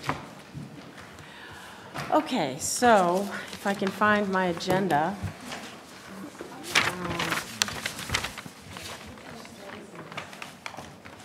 Um. So uh, Ms. McGowan was asking about her status in this since she wasn't here when this case was first heard. She is now a member of the planning board, so she may approve uh, submittals related to conditions as part of the planning board. Ms. McGowan was asking a Yeah. question about that. Yep. Um, So we're going to move uh, down the agenda to uh, Section 7, Old Business, SPR 2018-16 and SPP 2018-04. Archipelago Investments LCC, 26 Spring Street. Um, Welcome. Thank you. If you could both introduce yourselves. Kyle Wilson from Archipelago. Dave Williams, Archipelago. Um, So I'm reading what we have here. Chris, do you want to give a summary of uh, their return? So the reason that Mr. Wilson and Mr. Williams are returning is that they are eager to get a building permit from the building commissioner, and the three conditions that they need to satisfy from the site plan review, um, that they need to satisfy prior to getting their building permit are these three. So they needed to submit detailed plans and information about site improvements. It turns out they did show you the detailed plans and site improvements at the August 1st uh, meeting of last year, of 2018. And I believe that um, Ms. Field Sadler has provided you with copies of those plans. Um, It just turned out that you never actually received copies of the plans. Mr. Williams brought them to the meeting, but we never actually received hard copies, and we didn't receive um, electronic copies either. But now we have received them, and so um, I think it would be good if you went through the plan with Mr. Wilson, and he described um, what all the materials were. And then the condition number 12 was for a complete lighting plan, a photometric plan, and details. And I understand that Mr. Wilson has a plan uh, with him. Um, I hope he does. And condition number 14 was to show the new location of the street light that is to be relocated. And I understand from talking to Mr. Wilson that he's not proposing to relocate the street light. He is just proposing to remove it because he That's feels what I that the lighting from the building will be adequate to um, light the Okay. area. So um, perhaps he can explain exactly what materials he has here. Thank you, Chris. Um, So you have some conditions to talk about. Yes, thank you. And Chris, I plug in right here for the um, flash drive right into this. Pull this one out, the town of Amherst.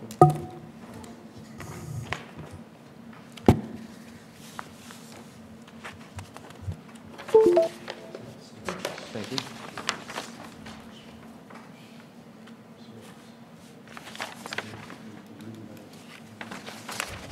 And you all have hard copies of the, the plans from 2018? They're 18. Yep, uh, 7/30/18. Okay. And I have a hard copy, We and I'll bring it up on the screen if that's... We have existing conditions, uh, proposed site plan, and the grading details.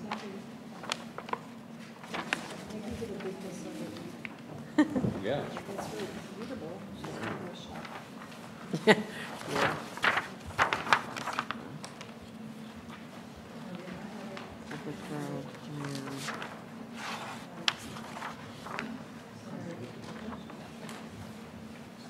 Let me try to figure out how to get this, uh...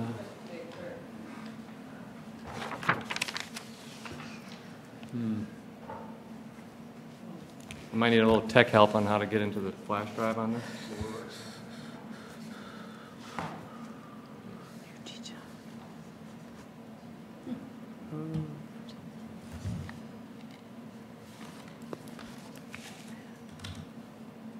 Oh, gosh. I saw pictures up there earlier. I- did, yeah. You- From the other people, right? It dropped out.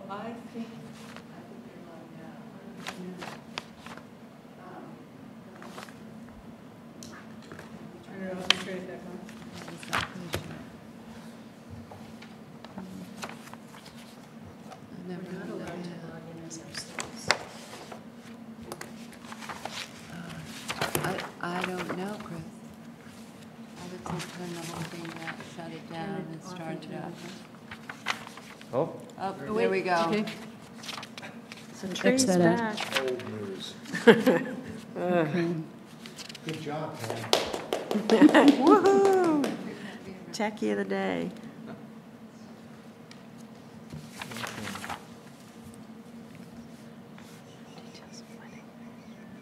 no, we just have to find... Find Is this in your- my computer anywhere? About,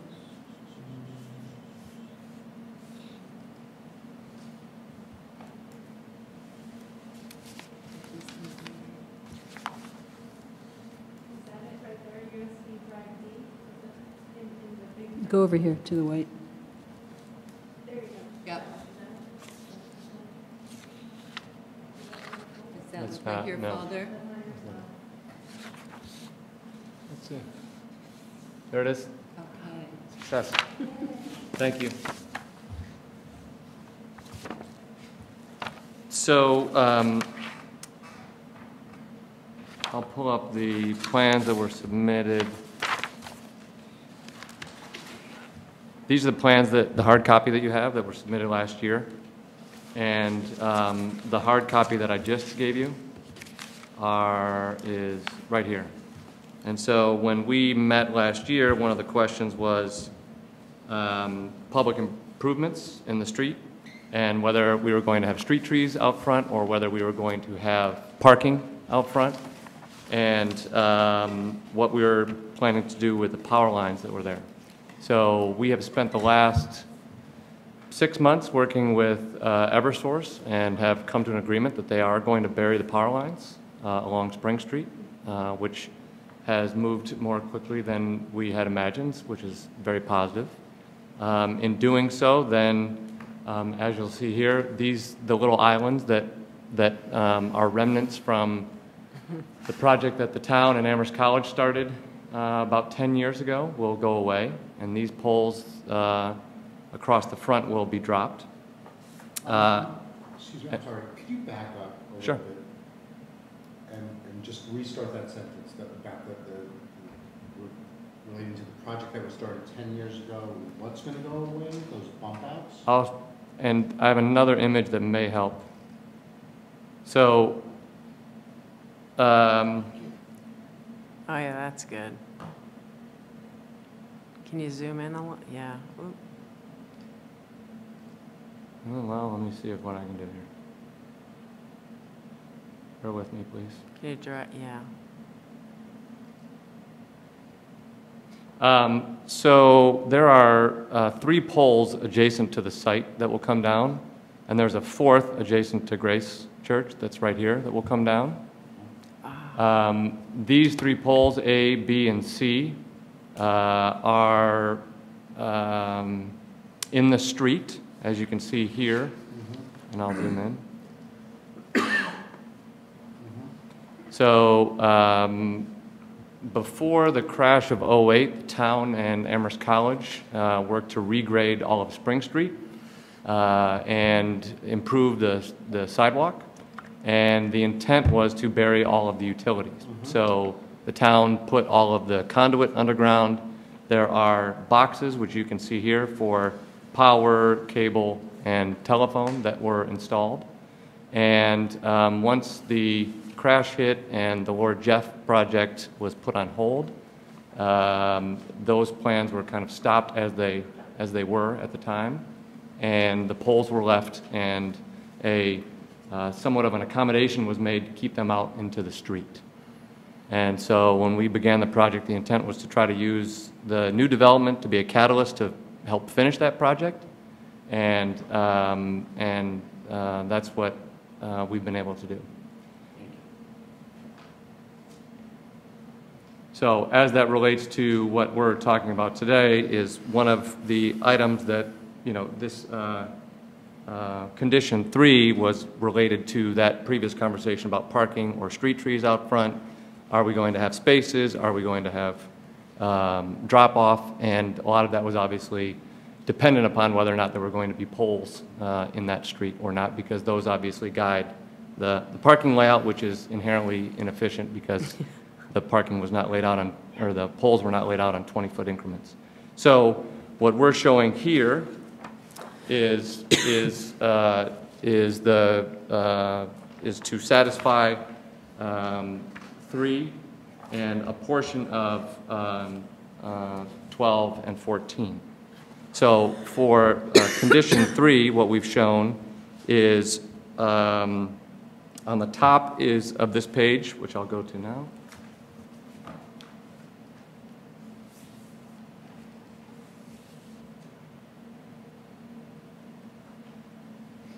So, excuse me, it might be helpful for Ms. McGowan if um, Mr. Wilson were to kind of give a summary of the whole project, because she's coming in not knowing anything about the project at all, and I think your page two of six, which is the second page of your little group of plans here, um, shows the plan as a whole.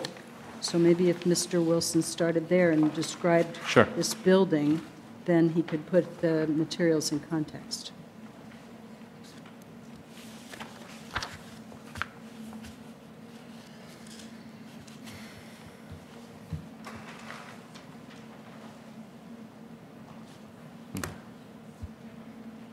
So this is page two that you're referencing. Yep.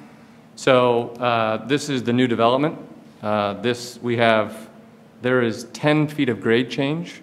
So the northwest corner of the site is 10 feet higher than the southeast corner of the site. Uh, So the building has done, uh, the intent, the design of the building is to accommodate that and try to make a exterior space on the southwest corner um, that is commercial. And uh, in the southeast corner is the lobby entrance to the building. So there are actually three different slab heights for the building. There's the lobby, there's the uh, commercial space, and then there's, um, which includes some of the back of house, trash, electrical, fire, and then there is the residential floor. So those all step up to try to accommodate this grade that, uh, that varies over 10 feet across the site. So um, we have uh, units on the ground floor, residential units on the ground floor, and then three floors of residential units above. So it is a four-story building um, that sits on this site. Um, To the southwest is uh, a ramp, an accessible ramp that brings uh, folks up to uh, entrance to the commercial. It also services the side of the building. Since there is no back, this is the side. So this is trash and electrical, as I mentioned, uh, a lot of the connections. And uh, that is approximately three feet higher than the lobby, which is here. There are also steps, a more direct route to another entrance to the commercial space. And uh, the lobby is directly at the grade of uh, the sidewalk. So the, um, when the project to regrade Spring Street was completed, uh, the street, uh, sidewalk uh, was pitched, uh, it was dropped, it was lowered. Uh, It was kept high up here. Uh, For Grace Church, there's a handicap access ramp that needed to be preserved, but, and it drops down, and right here is, if I go back to this, is almost exactly where the existing drive aisle to the parking lot is. So all of those curb cuts, uh, the two, the two cuts, this one, this one entrance and the two curb cuts are almost exactly where the proposed drop-off area and uh, lowered curb uh, will be for uh, access to the building. So, uh, as you'll see here, uh, that has not changed since last year. Uh, We've been able to refine it with um, all the work that we've done in the intervening time, and been able to provide all of the, um, all of the pitches, all of the spot grades, um, all of the exact dimensions um, for uh, the improvements related to that uh, handicap drop-off. So um, as you'll see here, uh, at this, this side of the site, it's at 290.9 at this point, and down here, it is at 288.88. So um, the, all of the material is, uh, well, let me stick with the, the grades first. So this is matching the existing sidewalk, obviously, and as that continues, there is a pedestrian ramp, which will be more gracious than the one that's currently there, a bit longer, and have a 5.2% slope. And then it's roughly flat here. There's a bit of a pitch.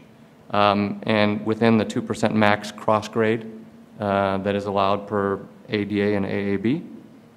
Uh, and then there's a pedestrian ramp that ramps back up, which is about the same size as the existing, and uh, connects back up to the sidewalk, which continues to match existing grade here. So uh, we will be uh, keeping with all town of Amherst um, standards for the sidewalk. Uh, As you'll see here, that sidewalk is the, has the paver uh, on this side, has the, you know, the cross uh, pattern in the concrete and the, the, the brick-colored pavers on, on, on the other side as well. So we'll be matching that. Um, This shows the, the spot grades for uh, the stairs, and this shows the spot grade and the ramping for uh, the ramp up to uh, the commercial space. The ramp here is gracious enough where there is no railing. There is one railing that is here, uh, as required by code, um, uh, adjacent to the stairs. And this is the entrance to the lobby. Uh, What you'll see, I think it's probably more clear on the lower portion, so I'll scroll down. Uh, This, this drawing is keyed, so it calls out each of the materials. Um, It calls out where they are. Um, This is, and it also calls out um, uh, for condition 14, the uh, existing light pole, which is shown here, uh, which will be removed. That light pole is currently right here and provide some lighting to this, the, uh, the parking area as it currently stands. Uh, The, um, the parking layout, as such, we have, uh, with the, this will come out with the removal of the power lines. This will come out with the removal of the power lines, and then the ability to restripe is there. Um, So the the standard 20-foot parking spaces, we'll be able to keep this one. Um, We'll be able to add one here, I'm sorry, and then we'll be able to keep these, make them a bit tighter, and then there's an opportunity based on um, uh, how the town decides to stripe the rest of this to potentially keep those existing spaces or maybe pick one up if with the removal of this pole, um, there's some additional uh, length for an additional parking space. Um, um, This is per the approved plan, so we have uh, the granite curbing that is uh, shown in front of Grace Church here, which is, which was installed as part of the regrading of Spring Street when they dropped, dropped it, uh, as well, as well as the, the stairs that were installed in front of the, the Jones property and the stairs that were installed here at Grace Church. So um, we will be, that, that granite is going to be the same granite that we're using uh, for the, um, the number 12, which is the monolithic stone wall and uh, the same type of granite that's used for the cladding, uh, the, the stone cladding on the face of uh, this wall and the face of the building, which was shown in the approved rendering. So none of that has changed. Uh, we have um, uh, granite paving as well that will occupy everything on the property north of the sidewalk. uh, that is shown on this plan here. Uh, So that also has not changed. Uh, Again, this is really a um, a clarification and a bit more detail with the more information we have uh, on what the, the front of the, the building as it addresses the sidewalk will look like. Um,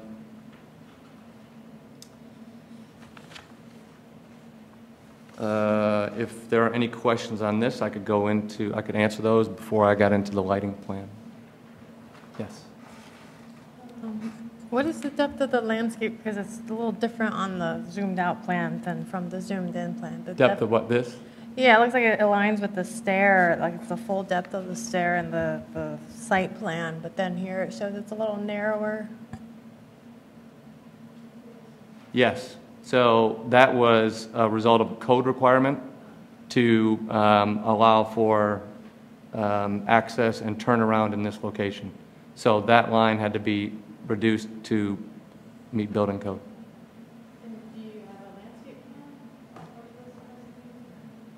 Um, The landscape plan, it didn't impact the landscape sufficiently. We had shown um, um, a service berry in that paver, so, in that area, so it's the, it's the same landscape plan. Just a slightly reduced um, uh, section there.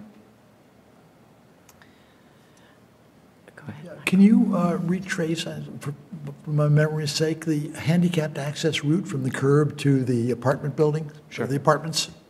So uh, this is at grade. This lobby is a lobby that directly accesses the elevator Oh, okay. in the building. I've read steps there. I didn't- I'm- Those steps just go uh, to the, up to the commercial space. So this is the entrance. The granite, the granite paving confused me. Yep, sorry. Yes. And the center staircase only requires one railing? Uh, The center staircase is, is a second means of access to that commercial space. Could be satisfied completely with this ramp Okay, so that's why you have. because of the size of the commercial. unit. And this is also the egress path for uh, the building. So uh, that second stair that egresses the upper floors of the residential uh, comes out and drops um, to the street here. That's the one, okay. Well, I'm very glad that the uh, bump outs are being removed and the street lights, so is there any other replacement light? Uh, I'll show you the exterior lighting. Um, So we go from one street light to um, lighting that, that highlights the egress and then lighting around the perimeter. Okay. And this lobby will be, um, this lobby is a part of our egress path in the building, as any multifamily building will have. And so that building has a certain foot candle that needs to be maintained 24/7 um, in, in that space, so that in the event of emergency, egress from this stair or egress from the elevator is lit.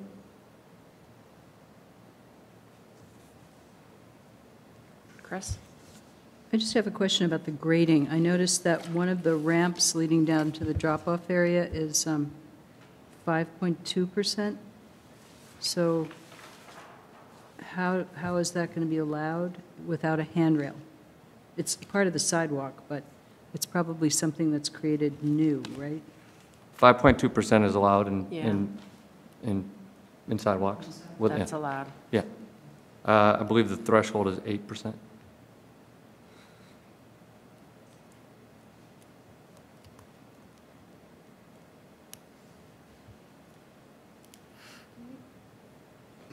Do you just have a picture of the project? 'Cause I'm, I'm looking at these lines, Yes. but what does this Um, look like in, um, I don't, these were, in a picture, pictorial way? yeah, I don't know if I put these on the flash drive. Hold on one second.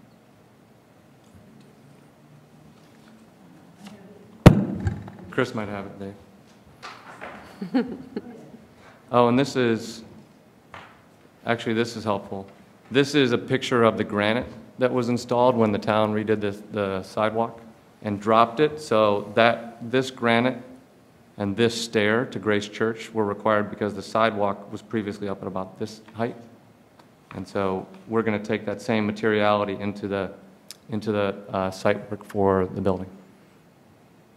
It's a um, um, salt and pepper granite that's used for all the curbing all around town. Where does that um, curbing go? Does the town take it back, or? No, that all stays, that's, all- that's on Grace Church property. Oh, it is. It's That is- all- But it, doesn't it run all the way? Nope, it stops right there. It And so does. then there's the Okay. stair, and then there's the, that is,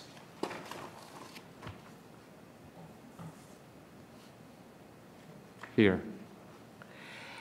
You can't quite see it there because it's, it's going up and. Yeah, so this is, this had, to- this had to stay high, because this was, when they dropped the sidewalk, this is the handicap access into Grace.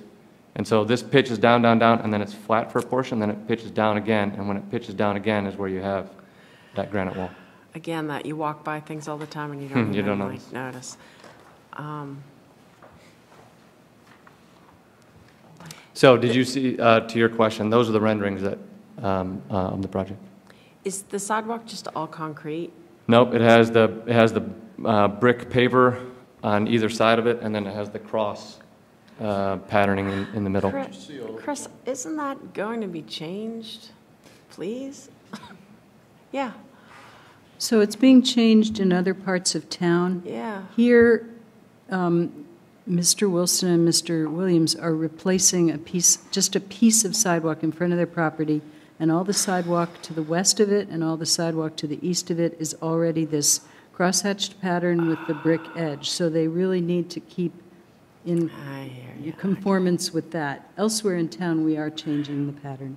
It just doesn't have long good longevity, but if it's to, I didn't realize it was to the east too. Okay. And I've seen most of the failing when it's perpendicular to the path of travel, and this is parallel, so, Fingers crossed.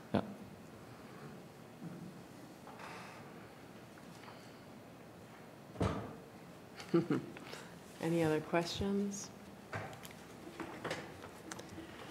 Um, So for the lighting plan, um, we have cut sheets. Uh, Here's the exterior lighting. And then I'll pull up the cut sheets as well. There's, there are four different uh, exterior fixtures. E1, which is a downlight in the um, canopies which I'll show you in, in a, in a quick minute here. E2, which is a downlight in the uh, walls, uh, exterior walls. Uh, E3, which is um, uh, another downlight that is in one of the monolithic walls right when you come up to the commercial. And E4, which is um, only in the very back of the building on the north side. So um, the lighting plan here shows those fixtures. So you have uh, E1 only here in the canopy above the entry, here in the canopy above the uh, commercial entrance, and here in the canopy above the other commercial entrance. So that is this fixture that'll be installed in the canopy. It's flush-mounted, downlit LED. Uh, E2 is around the perimeter, so this, this wall is a, is a site wall that is, uh, the grade is higher on this side than it is this side to make all the egress work. So that's all stayed the same. This uh, E2 fixture is mounted in the wall and uh, provides a, um, a a low but required foot candle for egress light around that perimeter, all facing onto the site. And that is the E2 fixture here. Excuse me. Yes. At what height on the wall? Uh, Well, the, it's a good question. The wall changes because it's, it's managing the grade as this pitches down, and this is the highest part, of- part of the site. And that is, uh, I believe it is 24 inches above grade, trying to keep that as, as uniform as we can without pitching. So it's quite low. It's really to, to, to light the, uh, the path for egress. Um, E3 is uh, just here and here. So these two walls, uh, again, as per the approved plans, are a large monolithic granite wall that will resemble the wall that the town installed along Grace. And that fixture is also downlit, um, a little bit different because it's more of a ribbon. And so you can see it here. That ribbon um, projects underneath uh, benches uh, that are installed along this wall and this wall, again, um, in keeping with the the approved plans. Excuse me again, I apologize. Can you also show the E2 fixture? Sure.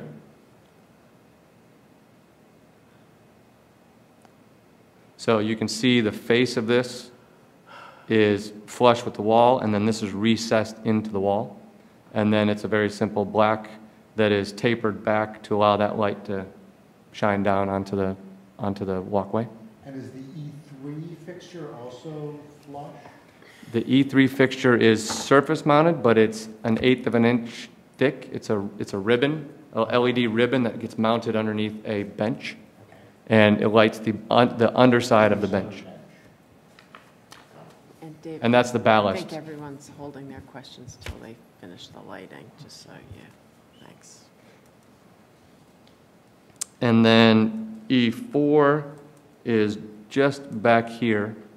There's one um, surface-mounted light that'll be on the exterior wall of the building. Let me Scroll up here. There's one E4 that's here. And that E4 fixture is this,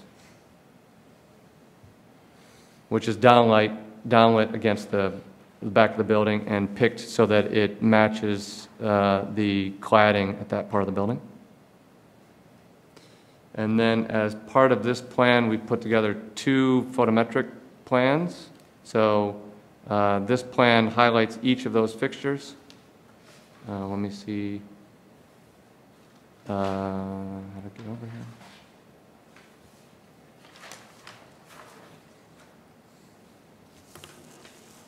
And then this is, uh, we've done two photometric plans, because this, uh, we've done one that shows how the, the foot candles for the egress, um, and that is reflected in the requirements for the code, which is very small.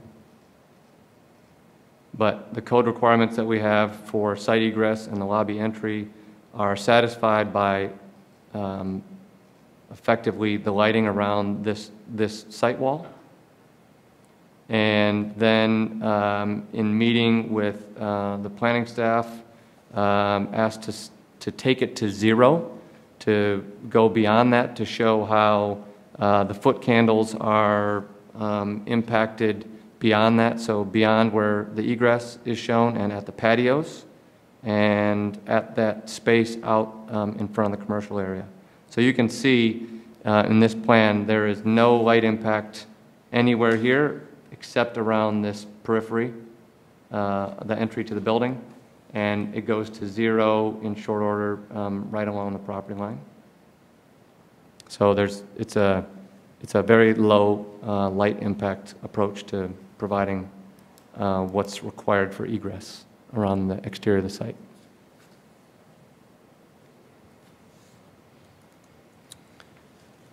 Anyone have any questions? Chris? I wonder if Mr. Wilson would send me those plans via electronic uh, means? Yes, I did. I- Yeah, Could you zoom in on the front entrance that's? Yep. In this plan? Eighth grade, right. Yeah. I just wanted to see what the numbers were. We, it's hard to see. There'll be less than the street light. And where is the street light? The street light would have been here. Which is gone, so Which is there's gone. no other street lights. So basically, the sidewalks are dark. Uh, no, there's a street light here. That one stays? There's a street light, yeah, we're not doing anything, we're only, there's street lights on adjacent properties, we're just, the one that landed in the middle of this property, when that, those There- street lights were part of the the There sidewalk weren't any improvements. on the poles? Uh, On no. the bump outs? No, Okay, uh, that's part of what they did do, is these street lights were a part of this improvement. This one was placed in the middle of the property, there was one placed in the Oh. right-of-way, and then one placed uh, here um, um, on the Jones property. That's what threw me off, because they put one on the property, so. Yep. Okay. Hmm. Can you go back to the light? Sure. Um, Just um, curiosity, what are the kelvins for, like, are you going for a white or Uh, a we- medium? Uh, It's a good question. We keep, this, the specification calls for 3,000 uh, or lower, so a warm Oh, light, very I'm warm happy. light. Okay, great. We try to shoot for 2,700 in the building. Ah. Exterior is about 3,000. Great. Makes me happy. Any questions?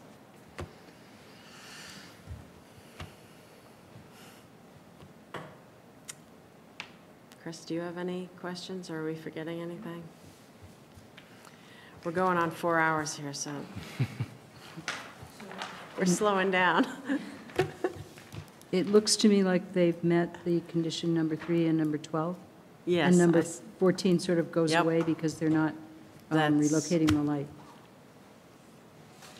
Yep, so condition three is, you think, met, that was the detailed plans and, okay. So we have to vote to approve this, uh, is it an addition or? Just no, that to they've meet met the conditions Right, of number three and number 12. okay. So did anyone catch that? Is anyone brain still functioning at this point where they can articulate a motion that says that this has met the conditions that were previously laid out on their permits? Yes. Have all the other conditions been met? We still have to go to town council. In our conditions, it was called, uh, uh, it was uh, Select select board. board. Mm. But we still have to go to town council. And we still have, similar to the last, uh, um, uh, the last group, we still have to meet with Rob and Chief Livingstone and Chief Nelson to finalize some plans that are separate than plans that need to come back before the planning board. So this is, but, so all conditions are met for planning board? All conditions relative to the planning board, yes. Conditions are met relative to getting a building permit. So I'm okay. not sure if they have to come back to you later on. I didn't read the conditions um, with that in mind, but these are the conditions they had to meet in order to get their building permit. Okay. So we need a motion that says that they have met the conditions laid out for them to obtain their building permit. I think it would be direct Chris 3 and Re- Refer to enumerate them? conditions 3, 12, and 14, that they've met the Three- conditions three, 3, 12, 12, and 14. Yes. That would be good. that way on we don't get credit it's for on meeting the one we haven't met agenda. yet. If you want to, it's on the agenda here if you want to look. I move to approve the project presented by Archipelago Investments that conditions 3, 12, and 14 have been submitted and approved. The submittals have been submitted. for And we're this, gonna- And we're going to approve it. Second. Any discussion? Okay, all in favor? Raise your hands, and that's, and, okay, no, zero, and abstain? One. So it's five, no, did you, you all said yes, right? Yeah. Yeah, so it's five yes, zero no, and one abstain. I'm like, now I'm seeing, I'm like, I thought I saw all the hands go up.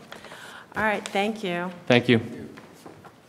And thank you for your patience. It was a long night. Thank you. We got to skip the first two hours. Do it. Unfortunately, we're getting used to it, too. Okay, so, Granite samples? do I want to see what samples? They have granite samples in the back. Are you Oh, interested in Lord. seeing? Well, I, tempting, but No. we can go see it next to Grace Church. Yeah. Yeah, same Thank you. granite. Thank you. Thank you. Um, So if we back up to item six, um, there's no ZBA report, so we can skip all that. And uh, we have a signing of decision that, can we just sort of do that, and then I can sign it after? We need uh, either Greg to come back or Perry. Yeah. Um, But the rest of you can sign it, and Ms. McGowan won't sign it. Yep. So here, here they come. So you'll just pass, yep. Yep. And I can do that, I can sign the minutes like after we close the meeting, right? Like meaning to keep it rolling. Um, So can we postpone item, new business item B, uh, downtown planning? Do you want to talk about downtown planning right now? For five minutes? For five minutes. Is that okay with everyone? Five minutes, we'll start the clock. Max five minutes. Um, uh, For, for Chris to talk, to tell us about it for five minutes, or? I could, I could talk about what Chris told me, um, that there's money for um, sort of restarting the downtown conversation. So I was hoping to, um, let's schedule a date and do that. Um, And there's money for like a facilitator.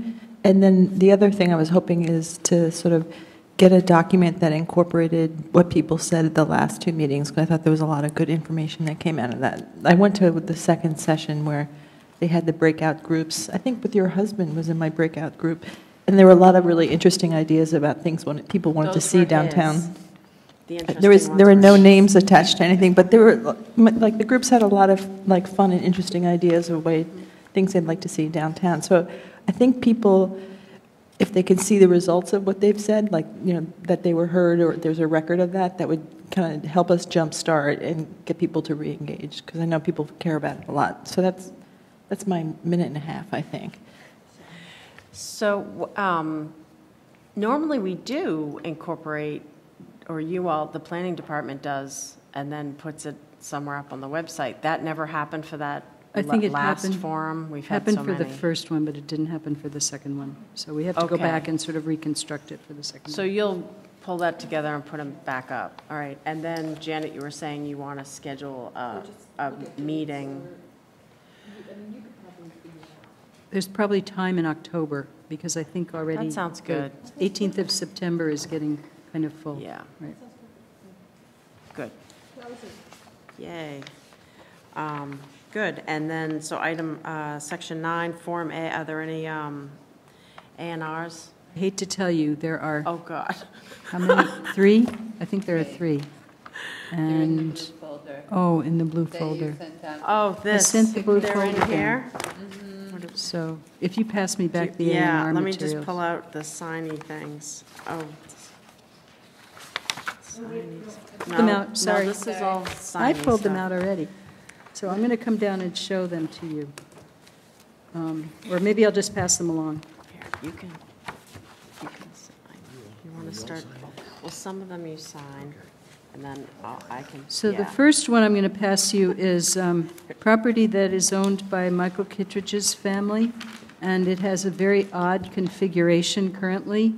Um, They divided it into one, two, three, four, five, six, seven lots, three of which are flag lots, which are um, really not very developable because the back part of them is in wetland. And so um, the Realtor who's representing the family is uh, suggesting that they redo the lot lines to create, I think, three lots. One of the lots has been sold off. So when I come by and show you the big plan, um, I'll show you which one has been sold off. And then uh, what you're doing here is um, declaring that this is not a subdivision. Um, A and R stands for approval not required. So subdivision approval is not required for this because there's no roadway being created. There's no subdivision being created. It's merely um, redoing lots on front, redoing lot lines for frontage lots.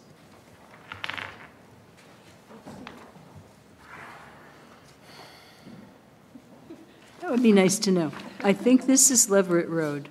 uh, Yeah. As opposed to East Leverett, yep. Leverett Road, yes, It's that's correct. Leverett Road.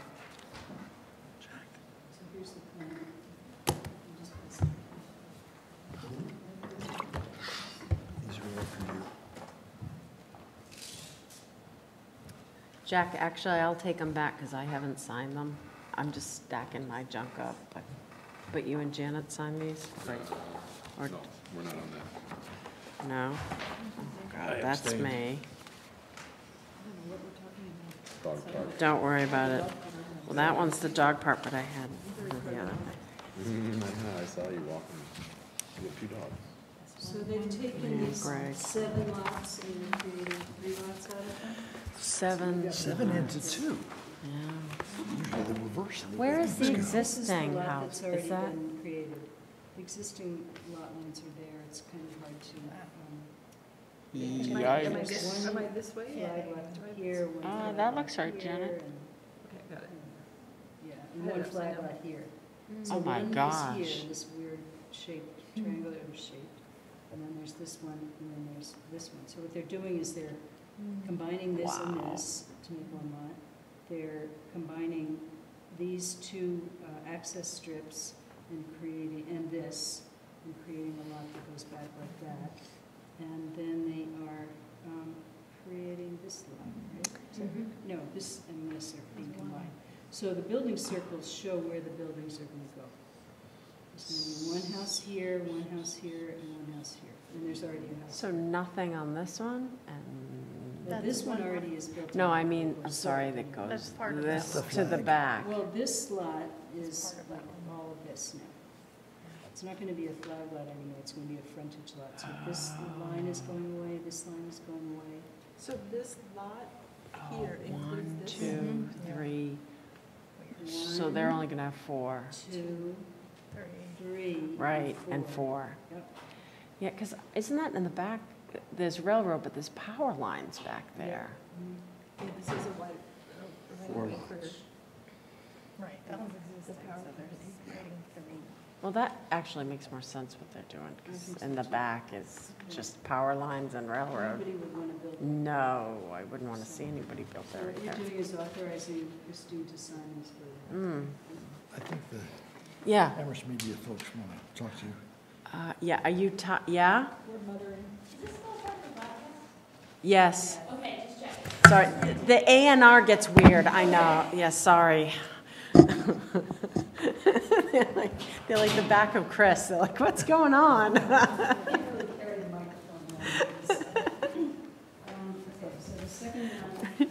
Thank you.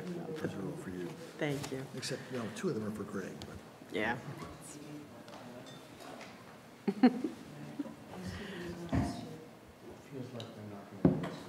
They will, I promise. As long as these two haven't come up with too much work for us.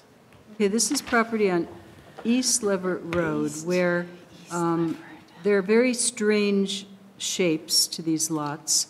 Um, Stranger I'm- than I'm the last pass- I'm going to pass around the plan that shows the existing shapes. And then I will describe the proposed shape. And the proposed shape is meant to include a well. So um, there's a well between these two properties. Um, The person who has the house wants the well on his property, obviously, so he can control it. And then the other guy can dig his own well if he needs to. Dig his own well, okay. Spite well. Yeah, spite well.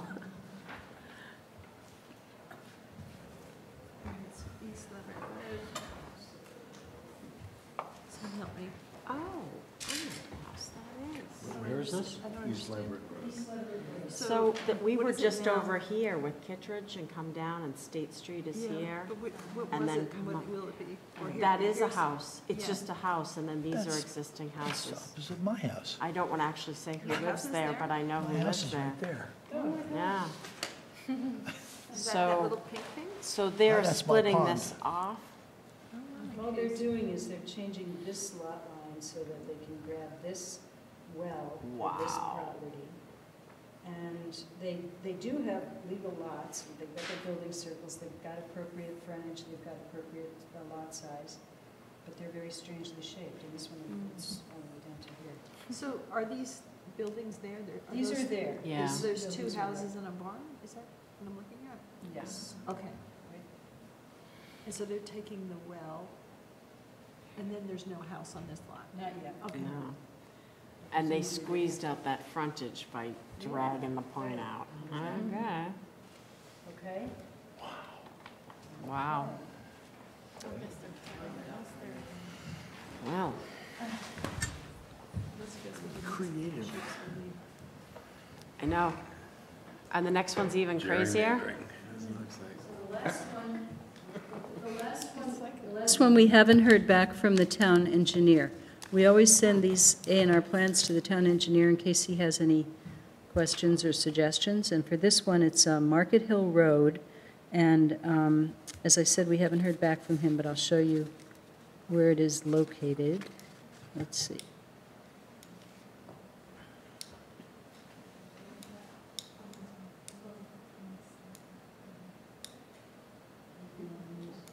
Maybe Miss uh, Field Sadler can tell me what's going on here.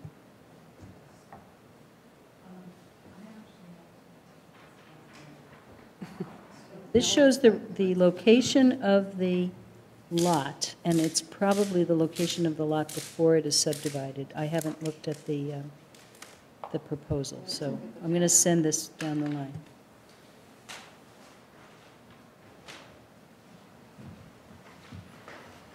This is Blackfields Road, it's Market Hill Road.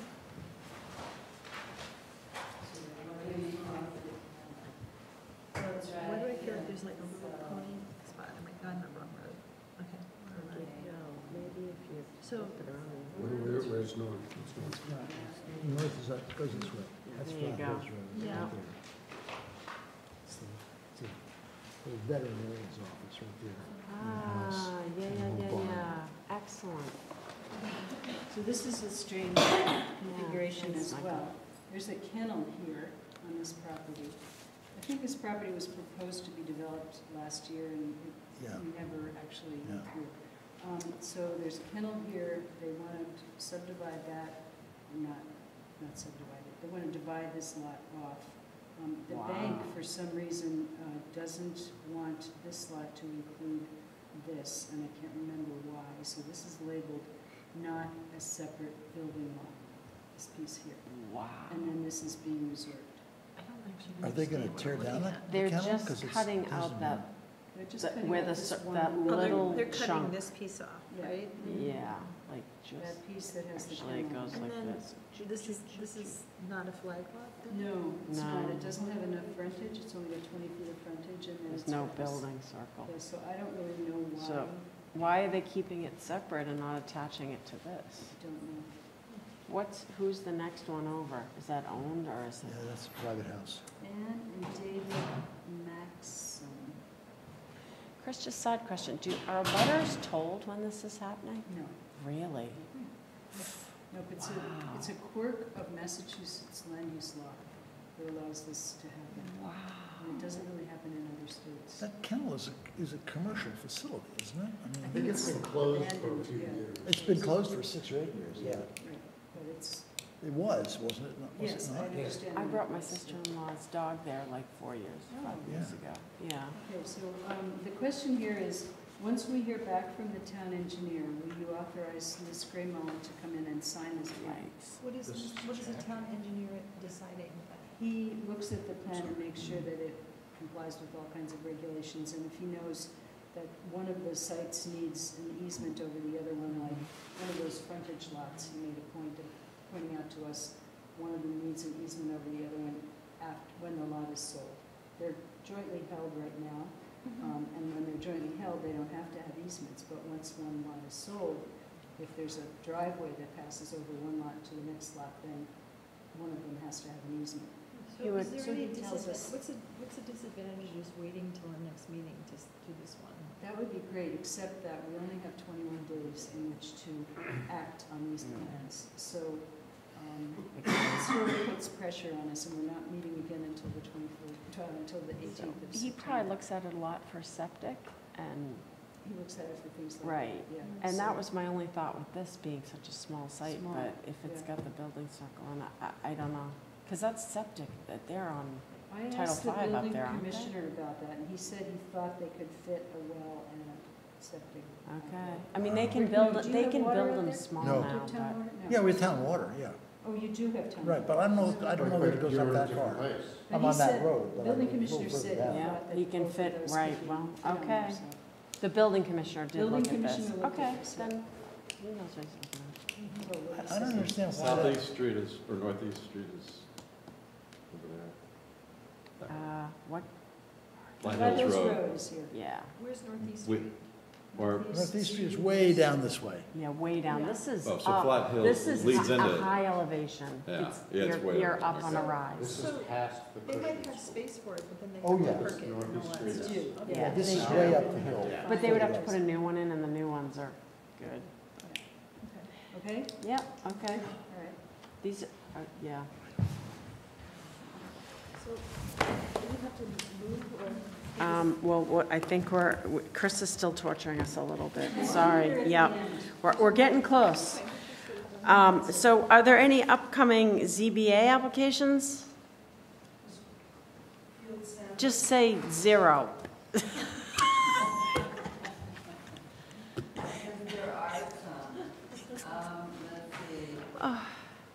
Nancy Gittleman is requesting a variance to modify a previously granted variance um, to allow an increased number of residential units from three to six, um, which the six actually exceeds the maximum number allowed for a converted dwelling under section three point three two four one of the zoning bylaw. And this is at four ten Old Montague Road. Um, Aspen Heights is going to come back to the ZBA and they need to review a Hmm. condition. Um, When is that coming back? um, she believes Maureen Pollock, who's overseeing ZBA right now, believes Thursday, September twelfth. And Nancy Gittleman will be there on September twelfth too. The solar project at the landfill is gonna come back before the ZBA.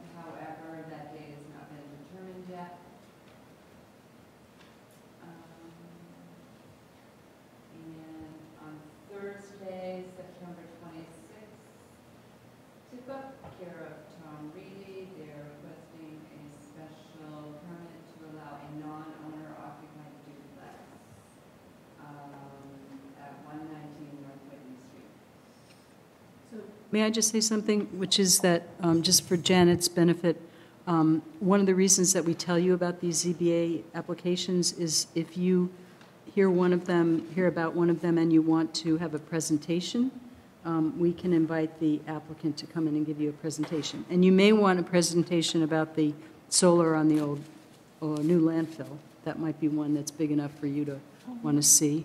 Um, It's possible that you'd want to see the tip-up one as well, the um, two-family house, non-owner occupied on North Whitney Street. That's going to have some site issues related to it. And what is Aspen Heights coming back for?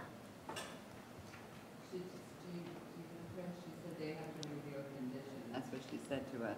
Yeah, Aspen Heights has already been approved. It's shrunk from Yeah. four stories to two stories. It's only 88 units with 11 affordable units.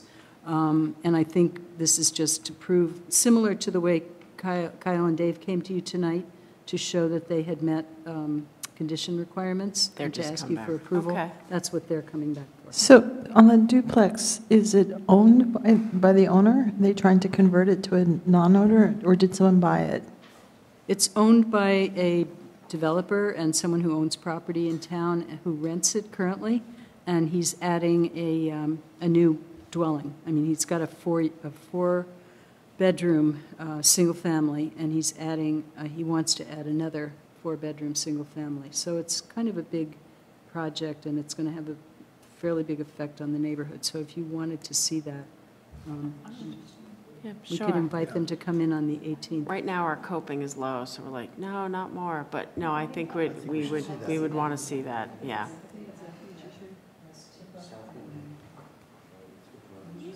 And the solar farm.